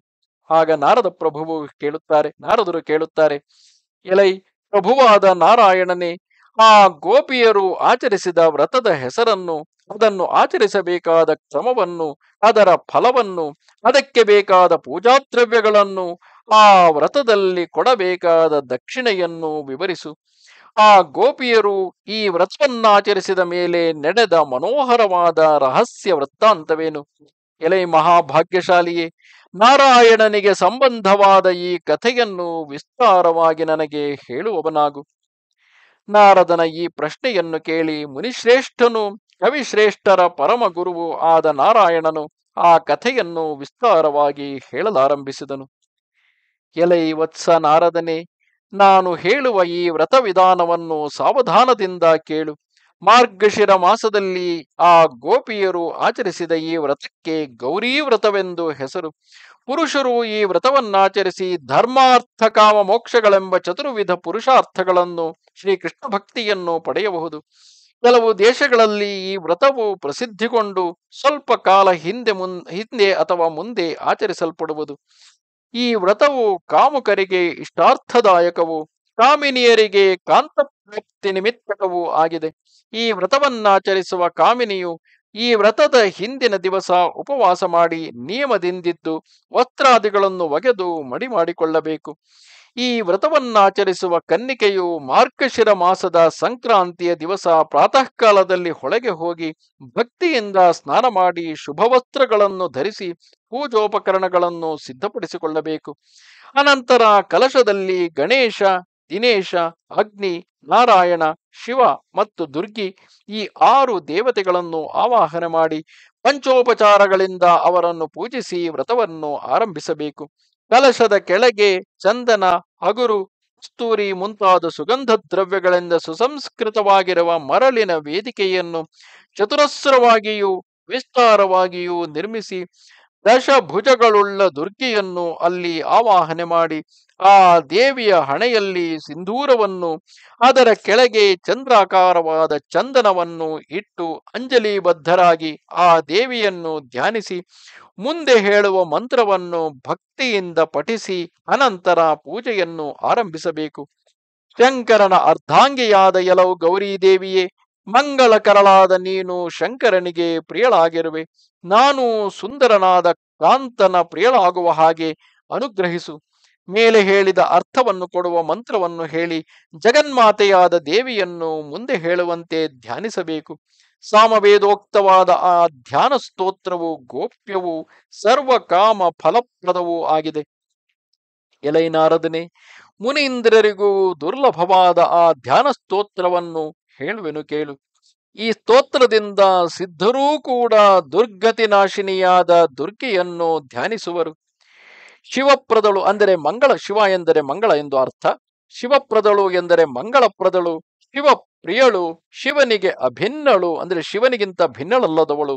ಶಿವನ ವಕ್ಷಸ್ಥಳದಲ್ಲಿ ನೆಲೆಸಿರುವವಳು, ಮಂದಹಾಸದಿಂದ ಪ್ರಸನ್ನಮುಖಿಯು, ವಿಶಾಲ ನೇತ್ರಿಯೂ ಆದ ದೇವಿಯನ್ನು ಭಜಿಸುವೆನು. ನವ ಯೌವನ ಸಂಪನ್ನಳು, ರತ್ನಾಭರಣ ಭೂಷಿತಳು, ರತ್ನ ನಿರ್ಮಿತವಾದ ಕಂಕಣ ಕೇಯೂರ ಮತ್ತು ನೂಪುರಗಳಿಂದ ಶೋಭಿತಳು ಆದ ದೇವಿಯನ್ನು ಭಜಿಸುವೆನು. ಕಪೋಲ ಸ್ಥಳದಲ್ಲಿ ಪ್ರತಿಬಿಂಬಿಸಿರುವ ರತ್ನ ಕುಂಡಲ ದ್ವಯದಿಂದಲೂ, ಮಾಲತಿ ಹೂಮಾಲೆಯಿಂದ ಶೋಭಿಸುತ್ತಿರುವ ಹೆರಳೆಂಬ ಭ್ರಮರಗಳಿಂದಲೂ ಶೋಭಿಸುವ ದೇವಿಯನ್ನು ಭಜಿಸುವೆನು. ಕಸ್ತೂರಿಯ ಬೊಟ್ಟುಗಳಿಂದ ಶೋಭಿಸುವ ಸಿಂಧೂರದ ತಿಲಕವನ್ನಿಟ್ಟು ಅಗ್ನಿಯಂತೆ ಪರಿಶುದ್ಧವಾದ ವಸ್ತ್ರವನ್ನುಟ್ಟು ಮನೋಹರವಾದ ರತ್ನ ಕಿರೀಟವನ್ನು ಧರಿಸಿರುವ ದೇವಿಯನ್ನು ಭಜಿಸುವೆನು. ಶ್ರೇಷ್ಠವಾದ ಮಣಿಗಳನ್ನು ಮೆಟ್ಟಿರುವ ರತ್ನ ಮಾಲೆಯಿಂದಲೂ ಆಜಾನು ಪರ್ಯಂತ ಪರ್ಯಂತವಾದ ಪರಿಜಾತ ಪುಷ್ಪಗಳ ಮಾಲೆಯಿಂದಲೂ ಶೋಭಿಸುವ ದೇವಿಯನ್ನು ಸ್ತುತಿಸುವೆನು. ನವ ಯೌವನದಿಂದಲೂ ವಿನೋನ್ನತವೂ, ಅತಿ ಕಠಿಣವೂ ಆದ ಶ್ರೋಣಿ ಬಿಂಬದಿಂದಲೂ, ಸ್ತನದ್ವಯಗಳಿಂದಲೂ ಆ ನತಾಂಗಿಯಾದ ಮನೋರಮೆಯನ್ನು ಧ್ಯಾನಿಸುವೆನು. ಬ್ರಹ್ಮಾದಿ ದೇವತೆಗಳಿಂದ ಸ್ತುತಿಸಲ್ಪಡುವವಳು, ಕೋಟಿ ಸೂರ್ಯರಿಗೆ ಸಮನಾದಂತಹ ದೇಹಕಾಂತಿಯುಳ್ಳವಳು ವಾದ ತೊಂಡೆ ಹಣ್ಣಿನಂತಿರುವ ಕೆಳತುಟಿಯಿಂದಲೂ ಮನೋಹರವಾದ ಸಂಪಿಗೆಯ ವರ್ಣದಿಂದಲೂ ಶೋಭಿತಳೂ ಆದ ದೇವಿಯನ್ನು ಭಜಿಸುವೆನು. ಮುತ್ತಿನ ಸಾಲುಗಳನ್ನು ಅಲ್ಲಗಳೆಯುವ ದಂತಪಂಕ್ತಿಗಳಿಂದ ವಿರಾಜಿಸುತ್ತಿರುವ ಮುಕ್ತಿಕಾಮಪ್ರದಳು ಶರಶ್ಚಂದ್ರ ವದನೆಯೂ ಆದ ದೇವಿಯನ್ನು ಭಜಿಸುವೆನು. ವ್ರತನಿಷ್ಠಳಾದ ಸ್ತ್ರೀಯು ದೇವಿಯ ತಲೆಯ ಮೇಲೆ ಪುಷ್ಪವನ್ನಿಟ್ಟು ಮೇಲೆ ಹೇಳಿದಂತೆ ಧ್ಯಾನಿಸಿ ಪ್ರಸಾದವನ್ನು ಸ್ವೀಕರಿಸಿ ಪುನಃ ಧ್ಯಾನ ಮಾಡಿ ಪೂಜಿಸಬೇಕು. ವೃತಾಸಕ್ತಳಾದ ಕಾಮಿನಿಯು ಹಿಂದೆ ಹೇಳಿದ ಮಂತ್ರದಿಂದ ದೇವಿಗೆ ಷೋಡಶೋಪಚಾರಗಳನ್ನು ಭಕ್ತಿಯಿಂದ ಸಮರ್ಪಿಸಿ, ಪೂರ್ವೋಕ್ತವಾದ ಸ್ತೋತ್ರದಿಂದ ಸ್ತುತಿಸಿ, ವಿನಯ ಭಕ್ತಿಗಳಿಂದ ನಮಸ್ಕರಿಸಿದ ನಂತರ ಇಂದ್ರಿಯ ನಿಗ್ರಹ ಪರಳಾಗಿ ಕಥೆಯನ್ನು ಕೇಳಬೇಕು. ನಾರದ ಮಹರ್ಷಿಗಳು ಆಗ ಕೇಳುತ್ತಾರೆ ಗೌರಿ ವ್ರತವನ್ನು ಅದನ್ನು ಆಚರಿಸುವ ವಿಧಾನವನ್ನು, ಅದರ ಫಲವನ್ನು, ಅದ್ಭುತವಾದ ಸ್ತೋತ್ರವನ್ನು ಕೇಳಿ ಸಂತೋಷಪಟ್ಟೆನು. ಈಗ ಶುಭಕರವಾದ ಗೌರಿ ವ್ರತದ ಕಥೆಯನ್ನು ಕೇಳಬಯಸುತ್ತೇನೆ ಈ ವ್ರತವನ್ನು ಮೊಟ್ಟ ಮೊದಲು ಆಚರಿಸಿದವರಾರು ಇದನ್ನು ಭೂಮಂಡಲದಲ್ಲಿ ಪ್ರಚಾರ ಮಾಡಿದವರಾರು, ಸಕಲರ ಸಂದೇಹ ಪರಿಹಾರಕವಾದ ನೀನು, ಇದೆಲ್ಲವನ್ನು ನನಗೆ ವಿಸ್ತರಿಸಿ ಹೇಳು. ಆಗ ನಾರಾಯಣ ಮಹರ್ಷಿಗಳು ಹೇಳುತ್ತಾರೆ ಕುಶಧ್ವಜನೆಂಬ ರಾಜನಿಗೆ ವೇದವತಿ ಎಂಬ ಮಹಾಪತಿವ್ರತೆಯಾದ ಮಗಳೊಬ್ಬಳಿದ್ದಳು. ಆಕೆಯು ಪುಷ್ಕರ ಮಹಾಕ್ಷೇತ್ರದಲ್ಲಿ ಈ ವ್ರತವನ್ನು ಆಚರಿಸಿದಳು. ವ್ರತ ಸಮಾಪ್ತಿಯ ದಿವಸ ಕೋಟಿ ಸೂರ್ಯನ ಸಮಾನ ಪ್ರಭೆಯುಳ್ಳ ಜಗದಂಬಿಕೆಯು ಲಕ್ಷ ಯೋಗಿನಿಯರೊಡಗೂಡಿ ಆ ವೇದವತಿಗೆ ಪ್ರತ್ಯಕ್ಷಳಾದಳು. ಸುವರ್ಣ ನಿರ್ಮಿತವಾದ ರಥದಲ್ಲಿ ಕುಳಿತು ಮಂದಹಾಸದಿಂದ ಪ್ರಸನ್ನಮುಖಿಯಾಗಿದ್ದ ಆ ದೇವಿಯು ನಿಯಮದಿಂದಿದ್ದ ವೇದವತಿಯನ್ನು ಕುರಿತು ಹೀಗೆ ಹೇಳಿದಳು. ಪಾರ್ವತಿಯು ಹೇಳುತ್ತಾಳೆ ಎಲೋ ವೇದವತಿಯೇ, ನಿನಗೆ ಮಂಗಳವಾಗಲಿ. ನಿನಗೆ ಅಭೀಷ್ಟವಾದ ವರವನ್ನು ಬೇಡಿಕು. ನೀನು ಆಚರಿಸಿದ ವ್ರತದಿಂದ ಸಂತುಷ್ಟಳಾದ ನಾನು ನಿನ್ನ ಇಷ್ಟಾರ್ಥವನ್ನು ಸಲ್ಲಿಸುವೆನು. ಎಲೈನಾರದನೆ, ಈ ರೀತಿಯಾದ ಪಾರ್ವತಿಯ ಮಾತನ್ನು ಕೇಳಿ ವೇದವತಿಯು ಪ್ರಸನ್ನ ಹೃದಯಳಾದ ಆ ದೇವಿಯನ್ನು ನೋಡಿ ನಮಸ್ಕರಿಸಿ ಕೈಗಳನ್ನು ಜೋಡಿಸಿಕೊಂಡು ಮುಂದೆ ಹೇಳುವಂತೆ ಬೇಡಿಕೊಂಡಳು. ಆ ವೇದವತಿಯು ಹೇಳುತ್ತಾಳೆ ಕೆಲವು ದೇವಿಯೇ, ನನಗೆ ಅಭೀಪ್ಸಿತನಾದ ನಾರಾಯಣನು ನನ್ನ ಕಾಂತನಾಗುವಂತೆಯೂ ಅವನ ಚರಣ ಕಮಲಗಳಲ್ಲಿ ದೃಢಭಕ್ತಿಯುಂಟಾಗುವಂತೆಯೂ ನನಗೆ ವರವನ್ನು ಅನುಗ್ರಹಿಸು. ಬೇರೆ ಯಾವ ವರವೂ ನನಗೆ ಬೇಕಿಲ್ಲ. ವೇದವತಿಯ ಬೇಡಿಕೆಯನ್ನು ಕೇಳಿ ಜಗದಂಬಿಕೆಯು ನಸುನಕ್ಕು ಜಾಗ್ರತೆ ರಥದಿಂದ ಕೆಳಗಿಳಿದು ಹರಿಪ್ರಿಯಳಾದ ಅವಳನ್ನು ಕುರಿತು ಈ ರೀತಿಯಾಗಿ ಹೇಳಿದಳು. ಪಾರ್ವತಿಯು ಹೇಳುತ್ತಾಳೆ, ಕೆಲವು ಜಗನ್ಮಾತೆಯೇ, ನೀನು ಎಲ್ಲವನ್ನೂ ಬಲ್ಲೆ. ಸ್ವಯಂ ಲಕ್ಷ್ಮೀ ದೇವಿಯಾದ ನೀನು ನಿನ್ನ ಪಾದಧೂಳಿಯಿಂದ ಭರತಖಂಡವನ್ನು ಪವಿತ್ರಗೊಳಿಸಲು ಅವತರಿಸಿದ್ದೀಯೆ. ಇದು ಸ್ವಯಂ ಪಾರ್ವತಿಯೇ ಆ ವೇದವತಿಯನ್ನು ಕುರಿತು ಹೇಳುತ್ತಿರುವುದು ವೇದವತಿಯು ಕೂಡ ಲಕ್ಷ್ಮೀ ದೇವಿಯ ಅಂಶದಿಂದ ಜನಿಸಿದವಳು. ಸಾಧ್ವೀಮಣಿಯಾದ ನಿನ್ನ ಪಾದಧೂಳಿಯಿಂದ ವಸುಂಧರೆಯು ಪವಿತ್ರವಾಗುವಳು ಕೆಲವು ಪರಮೇಶ್ವರಿಯೇ, ನಿನ್ನ ಸ್ಪರ್ಶದಿಂದ ಸಕಲ ತೀರ್ಥಗಳು ಪವಿತ್ರವೆನಿಸುವವು. ಲೋಕಶಿಕ್ಷಾರ್ಥವಾಗಿ ನೀನು ವ್ರತವನ್ನು ಆಚರಿಸಿದ್ದೀಯೆ. ತಪಸ್ವಿನಿಯಾದ ನೀನು ತಪಸ್ಸನ್ನು ಆಚರಿಸುತ್ತಿರು. ಜನ್ಮ ಜನ್ಮದಲ್ಲಿಯೂ ನೀನು ನಾರಾಯಣನ ಕಾಂತಿಯು ಪ್ರೀತಿಪಾತ್ರಳು ಆಗುವೆ. ವಿಷ್ಣುವು ದುಷ್ಟರನ್ನು ನಿಗ್ರಹಿಸಿ ಭೂಭಾರವನ್ನು ಇಳುಹಿ ನಿನ್ನ ಮನೋರಥವನ್ನು ಪೂರ್ಣಗೊಳಿಸಲು ಭೂಮಂಡಲದಲ್ಲಿ ದಶರಥನ ಪುತ್ರನಾಗಿ ಅವತರಿಸಿ ರಾಮನೆಂದು ಪ್ರಖ್ಯಾತಿಗೊಳ್ಳುವನು. ಬ್ರಹ್ಮಶಾಪದಿಂದ ಪತಿತರಾಗಿರುವ ಭಕ್ತರಾದ ರಾವಣ ಕುಂಭಕರ್ಣರ ಮೋಕ್ಷಕ್ಕಾಗಿ ಶ್ರೀಹರಿಯು ತ್ರೇತಾಯುಗದಲ್ಲಿ ಅಯೋಧ್ಯೆಯಲ್ಲಿ ಶ್ರೀರಾಮನಾಗಿ ಅವತಾರ ಮಾಡುವನು. ನೀನು ಕೂಡ ಶಿಶುರೂಪಧಾರಿಣಿಯಾಗಿ ಮಿಥಿಲಾ ನಗರಿಗೆ ಹೋಗು. ಅಯೋನಿಜಳಾದ ನಿನ್ನನ್ನು ಮಗಳಾಗಿ ಪಡೆದ ಜನಕನು ಪ್ರಯತ್ನದಿಂದ ಪರಿಪಾಲಿಸುವನು. ನೀನು ಸೀತೆ ಎಂದು ಪ್ರಖ್ಯಾತಳಾಗುವೆ. ಆಗ ಶ್ರೀರಾಮನು ಮಿಥಿಲೆಗೆ ಬಂದು ನಿನ್ನನ್ನು ವಿವಾಹ ಮಾಡಿಕೊಳ್ಳುವನು. ನೀನು ಪ್ರತಿಕಲ್ಪದಲ್ಲೂ ನಾರಾಯಣನ ಕಾಂತೆಯಾಗುವೆ. ಇಂತು ನುಡಿದು ಪಾರ್ವತಿಯು ಆ ವೇದವತಿಯನ್ನು ಆಲಂಗಿಸಿಕೊಂಡು ಹರಸಿ ತನ್ನ ಮಂದಿರಕ್ಕೆ ತೆರಳಿದಳು. ಅನಂತರ ಸಾಧ್ವೀಮಣಿಯಾದ ಆ ವೇದವತಿಯು ಶಿಶುರೂಪವನ್ನು ಧರಿಸಿ ಮಿಥಿಲೆಗೆ ಹೋಗಿ ತನ್ನ ಮಾಯಾಶಕ್ತಿಯಿಂದ ನೇಗಿಲಿನ ಗೆರೆಯೊಳಗೆ ಅಡಗಿಕೊಂಡಳು. ಪುಟಕ್ಕೆ ಹಾಕಿದ ಚಿನ್ನದಂತೆ ತೇಜಸ್ವಿನಿಯಾದ ಆ ಕನ್ಯೆಯು ಬೆತ್ತಲೆಯಾಗಿ ಕಣ್ಣು ಮುಚ್ಚಿಕೊಂಡು ಅಳುತ್ತಾ ಕುಳಿತಿರುವುದನ್ನು ಜನಕ ಮಹಾರಾಜನು ನೋಡಿದನು. ಎಳೆಯನಾರದನೆ ಜನಕ ಮಹಾರಾಜನು ಆ ಶಿಶುವನ್ನೆತ್ತಿಕೊಂಡು ತನ್ನ ಎದೆಗಪ್ಪಿಕೊಂಡು ಮನೆಗೆ ಹೋಗುತ್ತಿರುವಂತೆಯೇ ಮುಂದೆ ಹೇಳುವಂತೆ ಅಶರೀರವಾಣಿಯಾಯಿತು. ಅಯ್ಯೋ, ನಿಜಯೂ ಮನೋಹರಳು ಆದ ಈ ಲಕ್ಷ್ಮೀದೇವಿಯನ್ನು ನೀನು ಕಾಪಾಡು. ನಾರಾಯಣನು ಇವಳನ್ನು ಸ್ವೀಕರಿಸಿ ನಿನ್ನ ಅಳಿಯನಾಗುವನು. ಇದು ಸತ್ಯವಾದುದು. ಈ ರೀತಿಯಾದ ದೇವವಾಣಿಯನ್ನು ಕೇಳಿ ಆ ರಾಜಋಷಿಯು ಆ ಕನ್ನಿಕೆಯನ್ನು ಕರೆದೊಯ್ದು ಸಂತೋಷದಿಂದ ತನ್ನ ಪತ್ನಿಗೆ ಕೊಟ್ಟು ಪರಿಪಾಲಿಸಬೇಕೆಂದು ಹೇಳಿದನು. ಆ ಕನ್ಯೆಯು ಪ್ರಾಪ್ತ ವಯಸ್ಕಳಾದಾಗ ಈ ಗೌರಿ ವ್ರತಾಚರಣೆಯ ಪ್ರಭಾವದಿಂದ ಮೂರು ಲೋಕಗಳ ಒಡೆಯನು, ದಶರಥನ ಪುತ್ರನು ಆದ ಶ್ರೀರಾಮನನ್ನು ಕಾಂತನನ್ನಾಗಿ ಪಡೆದಳು. ವಸಿಷ್ಠ ಮಹರ್ಷಿಯು ಈ ವ್ರತವನ್ನು ಭೂಮಂಡಲದಲ್ಲೆಲ್ಲ ಪ್ರಚಾರಗೊಳಿಸಿದನು. ರಾಧಾದೇವಿಯು ಈ ವ್ರತವನ್ನು ಆಚರಿಸಿ ಶ್ರೀಕೃಷ್ಣನನ್ನು ಪ್ರಾಣಕಾಂತನನ್ನಾಗಿ ಪಡೆದಳು. ಗೋಪಾಂಗನೆಯರು ಕೂಡ ಈ ವ್ರತದ ಪ್ರಭಾವದಿಂದಲೇ ಶ್ರೀಕೃಷ್ಣನನ್ನು ಪ್ರಾಣಪ್ರಿಯನನ್ನಾಗಿ ಪಡೆದರು. ಎಲೈ ದ್ವಿಜೋತ್ತಮನೆ ಈ ರೀತಿಯಾಗಿ ಗೌರಿ ವ್ರತದ ಕಥೆಯನ್ನು ನಿನಗೆ ನಿರೂಪಿಸಿದನು. ಭರತಖಂಡದಲ್ಲಿ ಈ ವ್ರತವನ್ನು ಭಕ್ತಿಯಿಂದ ಆಚರಿಸುವ ಕುಮಾರಿಯರು ಶ್ರೀಕೃಷ್ಣನಿಗೆ ಸಮಾನನಾದ ಪತಿಯನ್ನು ಪಡೆಯುವುದರಲ್ಲಿ ಸಂಶಯವಿಲ್ಲ. ನಾರಾಯಣ ಮಹರ್ಷಿಗಳು ಮುಂದುವರೆದು ಹೇಳುತ್ತಾರೆ, ಈ ರೀತಿಯಾಗಿ ಗೋಪಿಯರೆಲ್ಲರೂ ಒಂದು ತಿಂಗಳು ಕಾಲ ಗೌರಿ ವ್ರತವನ್ನು ಆಚರಿಸಿ ಪೂರ್ವೋಕ್ತವಾದ ಸ್ತೋತ್ರದಿಂದ ಆ ದೇವಿಯನ್ನು ಪ್ರತಿದಿನವೂ ಸ್ತುತಿಸಿದರು.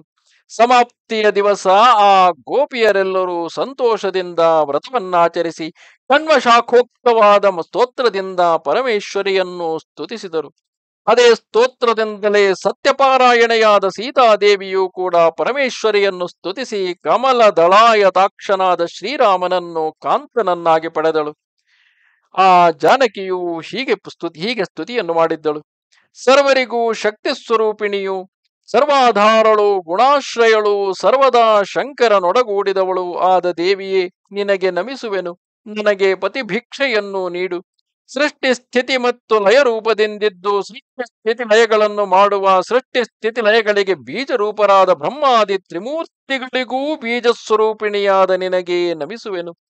ಸರ್ವ ಮಂಗಳಗಳಿಗೂ ಮಂಗಳ ಸ್ವರೂಪಳು, ಸರ್ವ ಮಂಗಳ ಸಮನ್ವಿತಳು, ಸರ್ವ ಮಂಗಳ ಕಾರಣಳು ಆದ ಸರ್ವ ಮಂಗಳೆಯೇ ನಿನಗೆ ವಂದಿಸುವೆನು.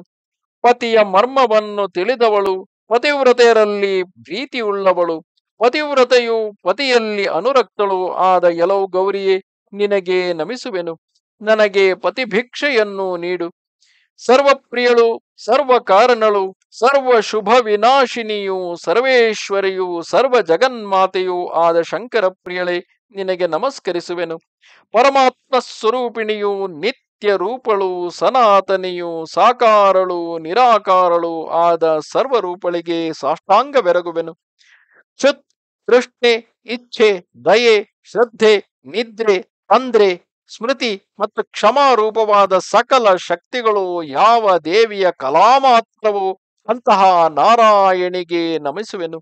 ಲಜ್ಜೆ, ಮೇಧೆ, ತುಷ್ಟಿ, ಪುಷ್ಟಿ, ಶಾಂತಿ, ಸಂಪತ್ತಿ ಮತ್ತು ವೃದ್ಧಿ ಮುಂತಾದ ಶಕ್ತಿಗಳು ಯಾರ ಕಲಾಮಾತ್ರವೋ ಸರ್ವಳು ರೂಪಳಾದಂತಹ ಆ ದೇವಿಗೆ ನಮಸ್ಕರಿಸುವೆನು.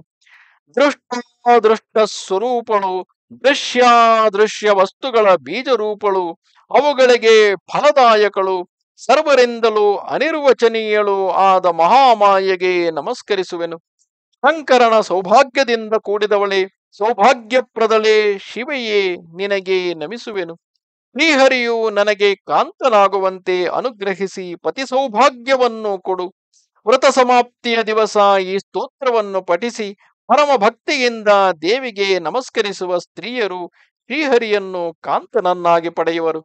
ಇಂತು ಪರಾತ್ಪರನಾದ ಪತಿಯನ್ನು ಪಡೆದು ಇಹಲೋಕದಲ್ಲಿ ಕಾಂತನ ಸುಖವನ್ನು ಅನುಭವಿಸಿ ಅಂತ್ಯಕಾಲದಲ್ಲಿ ದಿವ್ಯ ರಥವನ್ನೇರಿ ಶ್ರೀಕೃಷ್ಣನ ಸನ್ನಿಧಿಗೆ ತೆರಳುವರು. ಇಲ್ಲಿಗೆ ಬ್ರಹ್ಮವೈವರ್ತ ಮಹಾಪುರಾಣದಲ್ಲಿ ಸೀತಾದೇವಿ ಕೃತವಾದಂತಹ ಪಾರ್ವತಿ ಸ್ತೋತ್ರವು ಮುಗಿದುದು.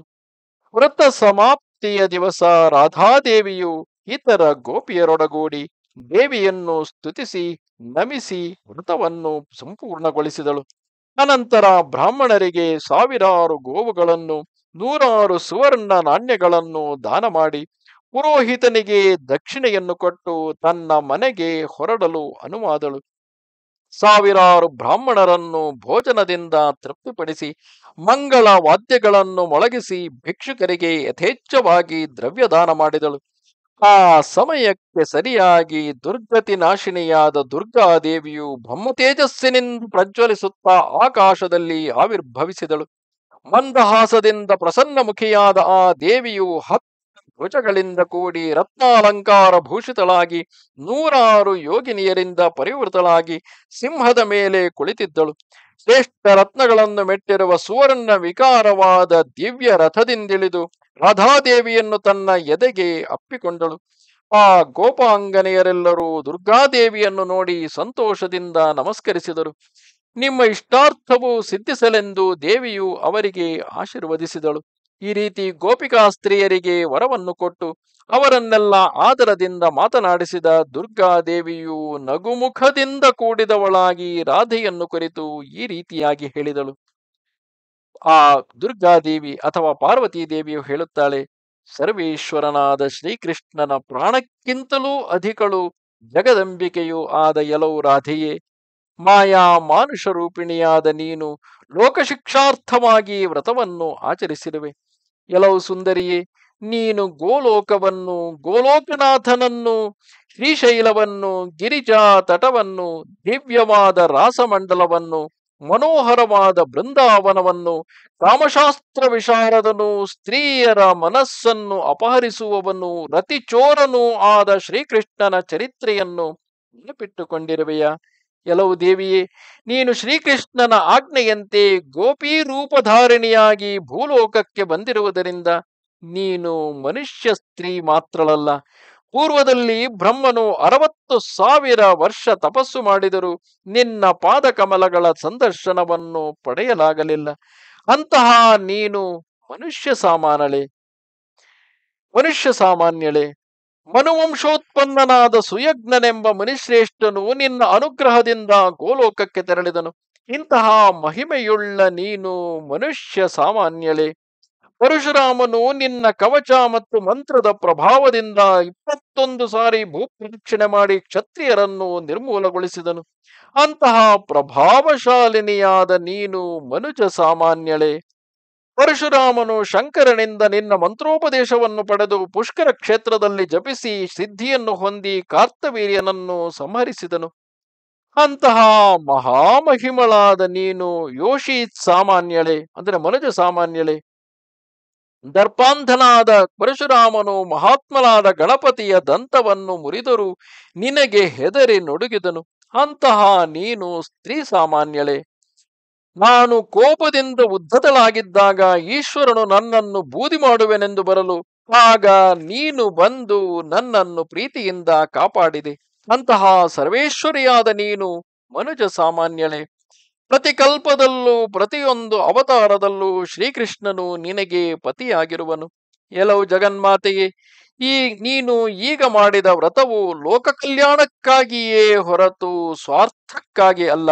ಅಂದರೆ ಭೂಲೋಕದಲ್ಲಿ ಇತರ ಸ್ತ್ರೀಯರು ಕೂಡ ಈ ಗೌರಿ ಪೂಜೆಯನ್ನು ಆಚರಿಸುವಂತೆ ಮಾಡಬೇಕೆಂಬ ಕಾರಣದಿಂದಾಗಿ ರಾಧೆಯು ಗೌರಿ ವ್ರತವನ್ನು ಆಚರಿಸಿದಲೇ ಹೊರತು ಆಕೆಯ ಸ್ವಾರ್ಥಕ್ಕಾಗಿ ಅಲ್ಲ.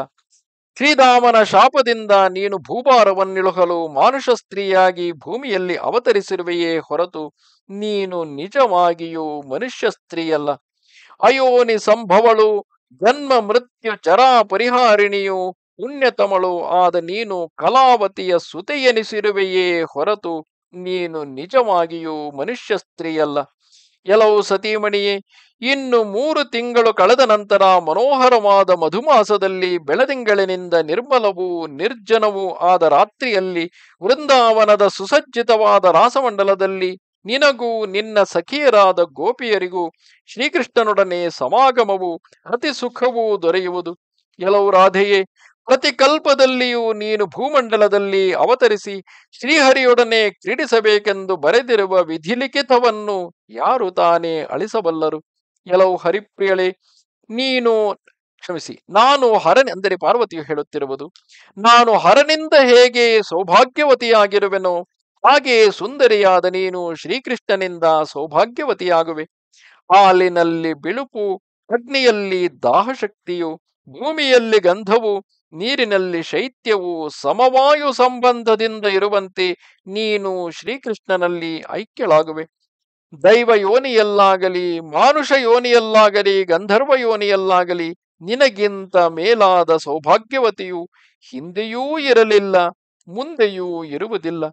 ನನ್ನ ವರದಿಂದ ಪರಾತ್ಪರನು, ಗುಣಾತೀತನು, ಬ್ರಹ್ಮಾದಿಗಳಿಂದ ವಂದಿತನು ಆದ ಸ್ವಯಂ ಶ್ರೀಕೃಷ್ಣನೇ ನಿನ್ನ ಅಧೀನನಾಗುವನು. ಬ್ರಹ್ಮ, ಅನಂತ, ಶಿವ ಮುಂತಾದವರಿಂದ ಆರಾಧ್ಯನು. ಸಕಲ ಯೋಗಿಗಳ ಧ್ಯಾನಕ್ಕೆ ಸಿಲುಕದವನು. ಮನುಜ ಸಾಮಾನ್ಯರಿಂದ ದುರಾರಾಧ್ಯನು. ಆಗ ಶ್ರೀಹರಿಯು ನಿನ್ನ ಪತಿಯಾಗಿ ನಿನಗೆ ವಶವರ್ತಿಯಾಗುವನು. ಕೆಲವು ರಾಧೆಯೇ, ನೀನೇ ಭಾಗ್ಯವಂತೆ. ಸ್ತ್ರೀಯರಲ್ಲಿ ನಿನಗಿಂತ ಶ್ರೇಷ್ಠರಾದವರಿಲ್ಲ. ನಿನ್ನ ಅವತಾರದ ಉದ್ದೇಶವು ಪೂರ್ಣವಾದ ನಂತರ ಶ್ರೀಕೃಷ್ಣನೊಡನೆ ನೀನು ಗೋಲೋಕಕ್ಕೆ ತೆರಳುವೆ. ಎಲೈ ನಾರದ ಎಲೈ ನಾರದ ಮುನಿಯೇ, ಪಾರ್ವತಿಯು ಈ ರೀತಿ ಹೇಳಿ ಅಂತರ್ಧಾನವನ್ನು ಹೊಂದಿದಳು. ಅನಂತರ ರಾಧೆಯು ಕೋಪಿಯರೊಡನೆ ಮನೆಗೆ ಹೊರಡಲನುವಾದಳು. ಇಷ್ಟರೊಳಗೆ ಶ್ರೀಕೃಷ್ಣನು ರಾಧೆಯ ಎದುರಿನಲ್ಲಿ ಬಂದು ನಿಂತನು. ರಾಧೆಯು ಶ್ಯಾಮ ಸುಂದರನು ನವ ಯುವಕನೂ ಆದ ಶ್ರೀಕೃಷ್ಣನನ್ನು ನೋಡಿದಳು. ಪೀತಾಂಬರವನ್ನೊಟ್ಟು ನಾನಾಭರಣಗಳಿಂದ ಭೂಷಿತನಾಗಿದ್ದ ಅವನು ಮಂಡಿಯವರೆಗೆ ಜೋಲಾಡುತ್ತಿರುವ ಜಾಜಿ ಹೂಮಾಲೆಯಿಂದಲೂ ವನಮಾಲೆಯಿಂದಲೂ ಶೋಭಿಸುತ್ತಿದ್ದನು. ಭಕ್ತಾನುಗ್ರಹಕಾರಕನು, ಶರದೃತುವಿನ ಕಮಲದಂತೆ ವಿಶಾಲ ನಯನನು ಆದ ಶ್ರೀಕೃಷ್ಣನು ಸರ್ವಾಂಗಗಳಿಗೂ ಚಂದನವನ್ನು ಲೇಪಿಸಿಕೊಂಡು ಮಂದ ಹಾಸದಿಂದ ಪ್ರಸನ್ನವದನನಾಗಿದ್ದನು ಶರತ್ ಪೂರ್ಣಿಮಾ ಚಂದ್ರನಂತೆ ಆಹ್ಲಾದವಾದ ಮುಖವುಳ್ಳ ಶ್ರೀಹರಿಯು ಉಜ್ವಲವಾದ ರತ್ನ ಕಿರೀಟವನ್ನು ಧರಿಸಿದ್ದನು. ಅವನ ದಂತ ಪಂಕ್ತಿಗಳು ಪಕ್ವವಾದ ದಾಳಿಂಬೆಯ ಬೀಜದಂತೆ ಮನೋಹರವಾಗಿದ್ದವು. ಕೈಯಲ್ಲಿ ವಿನೋದಾರ್ಥವಾಗಿ ಕೊಳಲನ್ನು, ಲೀಲಾ ಕಮಲವನ್ನು ಧರಿಸಿರುವ ಆ ಕೃಷ್ಣನು ಕೋಟಿ ಮನ್ಮಥರ ಲಾವಣ್ಯಕ್ಕೆ ಆಕರದಂತೆ ಮನೋಹರನಾಗಿದ್ದನು. ತ್ರಿಗುಣಾತೀತನು, ಬ್ರಹ್ಮ ಅನಂತ ಮತ್ತು ಶಂಕರನೇ ಮುಂತಾದವರಿಂದ ಸ್ತುತಿಸಲ್ಪಡುವವನು. ಬ್ರಹ್ಮಸ್ವರೂಪನು, ಬ್ರಹ್ಮಜ್ಞನು, ಶ್ರುತಿಗಳಿಂದ ಅವಿನಿರೂಪಿತನೂ ಆದಂತಹ ಶ್ರೀಕೃಷ್ಣನನ್ನು ರಾಧೆಯು ನೋಡಿದಳು. ಅವ್ಯಕ್ತನು ಅವಿನಾಶಿಯು, ವ್ಯಕ್ತರೂಪನು, ಜ್ಯೋತಿಸ್ವರೂಪನು, ಅನಾದಿಯು, ಮಂಗಲಾಧಾರನು, ಮಂಗಲಪ್ರದನು ಆದ ಮಂಗಳ ಸ್ವರೂಪನನ್ನು ರಾಧೆಯು ನೋಡಿದಳು. ಈ ರೀತಿ ಅತ್ಯದ್ಭುತವಾದ ಅವನ ರೂಪವನ್ನು ನೋಡಿ ರಾಧಾದೇವಿಯು ಸಂಭ್ರಮದಿಂದ ನಮಸ್ಕರಿಸಿದಳು. ಅಲ್ಲದೆ ಅವನ ಸೌಂದರ್ಯಕ್ಕೆ ಮನಸೋತು ಕಾಮ ಬಾಣ ಪೀಡಿತಳಾಗಿ ಮೂರ್ಛಗೊಂಡಳು. ಮೂರ್ಛೆ ತಿಳಿದ ಮೇಲೆ ಮುಗುಳ ನಗೆಯನ್ನು ಬೀರುತ್ತಾ ವಕ್ರ ಕಟಾಕ್ಷದಿಂದ ಅವನ ಮುಖಕಮಲವನ್ನು ದೃಷ್ಟಿಸಿ ನೋಡಿ ಲಜ್ಜೆಯಿಂದ ತನ್ನ ಮುಖವನ್ನು ಸೆರಗಿನಿಂದ ಮರೆ ಮಾಡಿಕೊಂಡಳು ಅದನ್ನು ಕಂಡು ಪ್ರಸನ್ನವಾದ ಮುಖ ಮತ್ತು ದೃಷ್ಟಿಯುಳ್ಳ ಶ್ರೀಹರಿಯು ಆ ಗೋಪಿಯರೆಲ್ಲರ ಎದುರಿನಲ್ಲೇ ರಾಧೆಯನ್ನು ಕುರಿತು ಈ ರೀತಿಯಾಗಿ ಹೇಳಿದನು. ಶ್ರೀಕೃಷ್ಣ ಪರಮಾತ್ಮನು ಹೇಳುತ್ತಾನೆ ನನ್ನ ಪ್ರಾಣಕ್ಕಿಂತಲೂ ಹೆಚ್ಚು ಪ್ರೀತಿಪಾತ್ರನಾದ ಎಲವು ರಾಧೆಯೇ, ನಿನಗೆ ಇಷ್ಟವಾದ ವರವನ್ನು ಬೇಡು. ಎಲವು ಗೋಪಿಕಾ ಸ್ತ್ರೀಯರೇ, ನೀವೆಲ್ಲರೂ ನಿಮ ನಿಮಗೆ ಬೇಕಾದ ವರವನ್ನು ಬೇಡಿಕೊಳ್ಳಿ. ಈ ರೀತಿಯಾದ ಶ್ರೀಕೃಷ್ಣನ ಮಾತುಗಳನ್ನು ಕೇಳಿ ರಾಧಾದೇವಿಯು ಗೋಪಿಯರು ಸಹ ಬೇಡಿದ ಇಷ್ಟಾರ್ಥವನ್ನು ಕೊಡಲು ಕಲ್ಪವೃಕ್ಷದಂತಿರುವ ಅವನನ್ನು ಕುರಿತು ಮುಂದೆ ಹೇಳುವಂತೆ ವರವನ್ನು ಬೇಡಿದರು.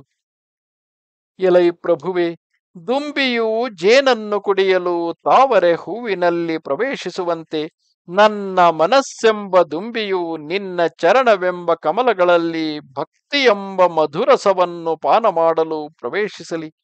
ನೀನು ಪ್ರತಿ ಜನ್ಮದಲ್ಲಿಯೂ ನನ್ನ ಪ್ರಾಣನಾಥನಾಗು. ನನಗೆ ನಿನ್ನ ಚರಣ ಕಮಲಗಳಲ್ಲಿ ಸರ್ವಸುಲಭವಲ್ಲದ ಭಕ್ತಿಯನ್ನು ಅನುಗ್ರಹಿಸು. ನನ್ನ ಮನಸ್ಸು ಜಾಗೃತ್ ಸ್ವಪ್ನಾವಸ್ಥೆಗಳಲ್ಲಿಯೂ ಸರ್ವದಾ ನಿನ್ನ ಸ್ಮರಣೆ ಮತ್ತು ಗುಣಕೀರ್ತನಗಳನ್ನು ನಿಶ್ಚಲವ, ಗುಣಕೀರ್ತನಗಳಲ್ಲಿ ನಿಶ್ಚಲವಾಗಿ ನೆಲೆಸಿರುವಂತೆ ಅನುಗ್ರಹಿಸು. ಇದೇ ನಮಗೆ ಅಭೀಪ್ಸಿತವಾದ ವರವು. ಹಾಗ ಗೋಪಾಲಿಕೆಯರು ಕೇಳಿಕೊಳ್ಳುತ್ತಾರೆ. ಎಲೈ ಪ್ರಾಣಬಂಧುವೆ ರಾಧೆಗೆ ಹೇಗೋ ಹಾಗೆ ನಮಗೂ ಪ್ರತಿ ಜನ್ಮದಲ್ಲಿಯೂ ಪ್ರಾಣನಾಥನಾಗಿ ನಮ್ಮನ್ನು ಸರ್ವದಾ ಕಾಪಾಡು.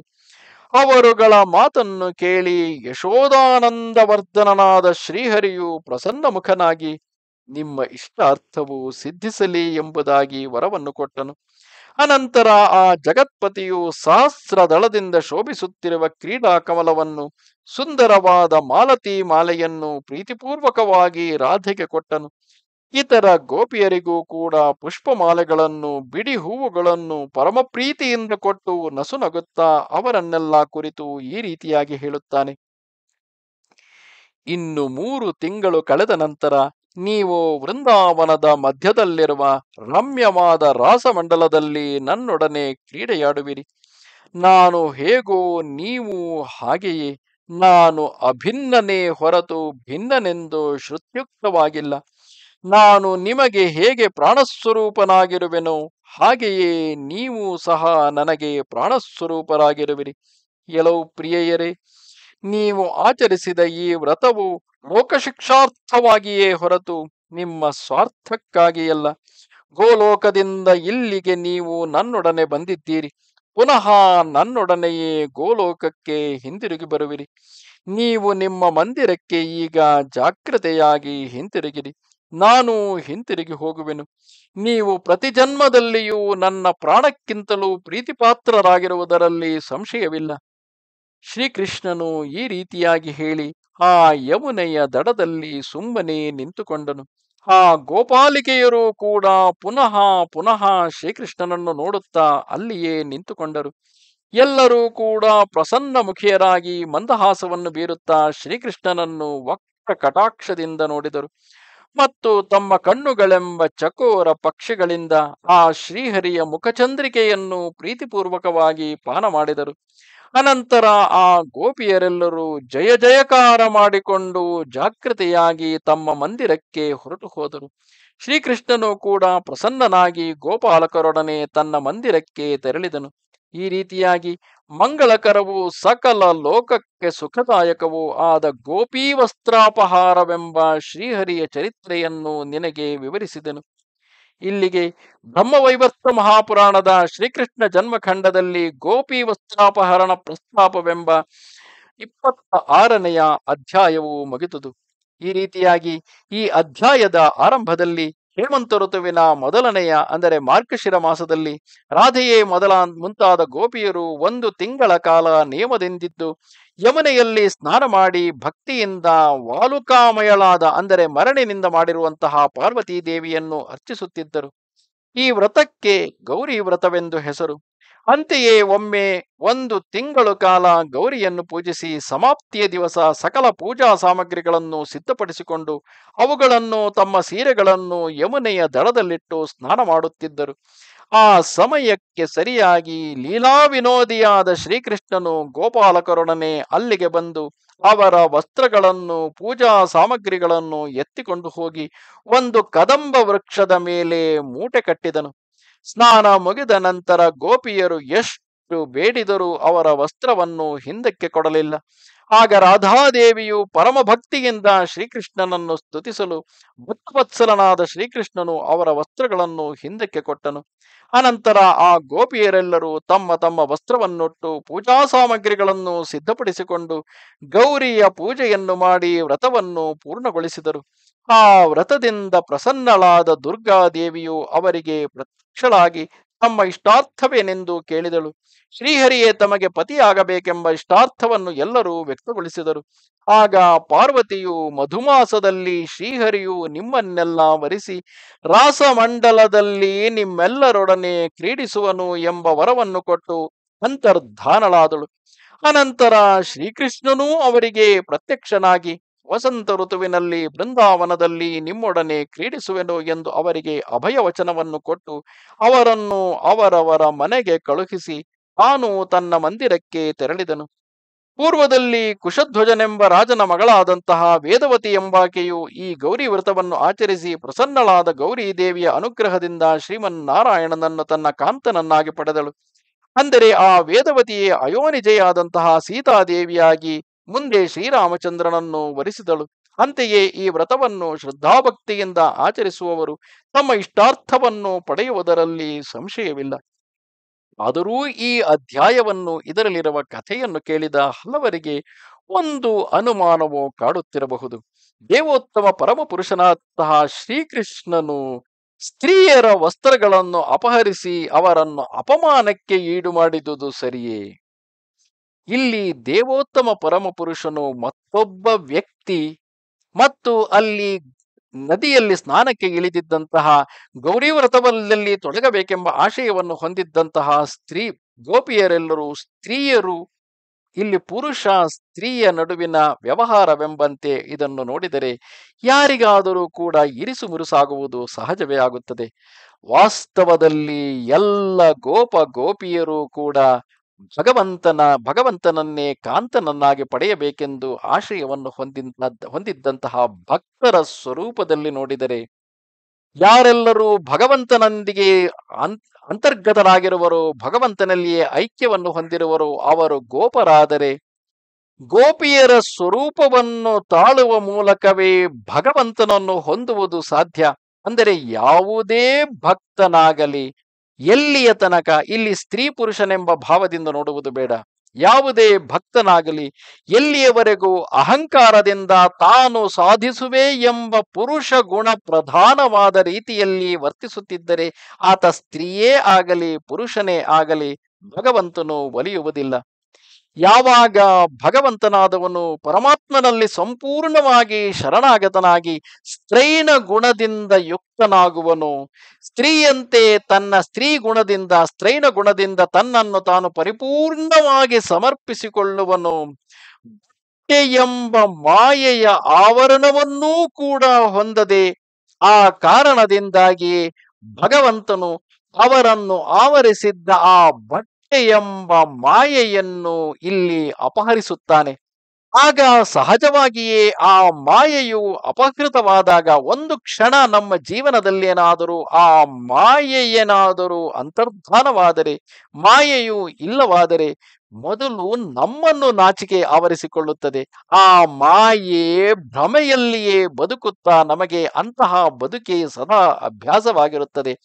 ಭಗವಂತನನ್ನು ಹೊಂದಬೇಕೆಂದರೆ ಆ ಮಾಯೆಯು ಪರಿಹೃತವಾಗಬೇಕು.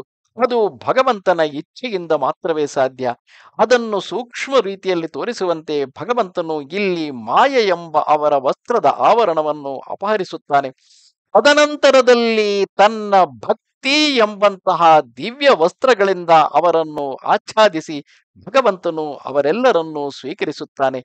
ಆ ಭಕ್ತರೆಲ್ಲರೂ ಸ್ತ್ರೈಣ ಗುಣವನ್ನು ಹೊಂದಿರುವಂತಹ ಗೋಪಿಯರಾಗಿ ರಾಸಕ್ರೀಡೆ ಎಂಬಂತಹ ಭಗವಂತನ ಆಟದಲ್ಲಿ ಮುಂದೆ ಭಗವಂತನೊಂದಿಗೆ ಒಂದಾಗುವುದು. ನಾವು ನಮ್ಮೊಳಗಿರುವಂತಹ ಆತ್ಮವೇನಿದೆಯೋ ಆ ಆತ್ಮವೇ ಭಗವಂತನ ಪ್ರತಿಬಿಂಬವಾಗಿರುವುದು. ನಾನು ಎಂಬುದು ಇಲ್ಲಿ ಯಾವುದೂ ಇರುವುದಿಲ್ಲ. ಇರುವುದೆಲ್ಲವೂ ಕೇವಲ ಭಗವಂತನೇ. ನಮ್ಮ ನಮ್ಮ, ನಾವು ಈ ಶರೀರದೊಳಗೆ ಪ್ರವೇಶಿಸಿದ್ದರೂ ನಾನು ಎಂಬುದಿರದೆ ಆ ಭಗವಂತನೊಂದಿಗೆ ಸಂಪೂರ್ಣವಾಗಿ ಐಕ್ಯವಾಗುವಂತಹ ಅದ್ಭುತ ರಾಸಕ್ರೀಡೆಯನ್ನು ಮುಂದಿನ ಅಧ್ಯಾಯದಲ್ಲಿ ನೋಡೋಣ. ನಮಸ್ತೆ ಶಾರದಾ ದೇವಿ ಕಾಶ್ಮೀರ ಪುರವಾಸಿನಿ ತ್ವಾಮಹಂ ಪ್ರಾರ್ಥಯೇ ನಿತ್ಯಂ, ವಿದ್ಯಾದಾನಂಚ ದೇಹಿಮೆ. ನಮಸ್ಕಾರ.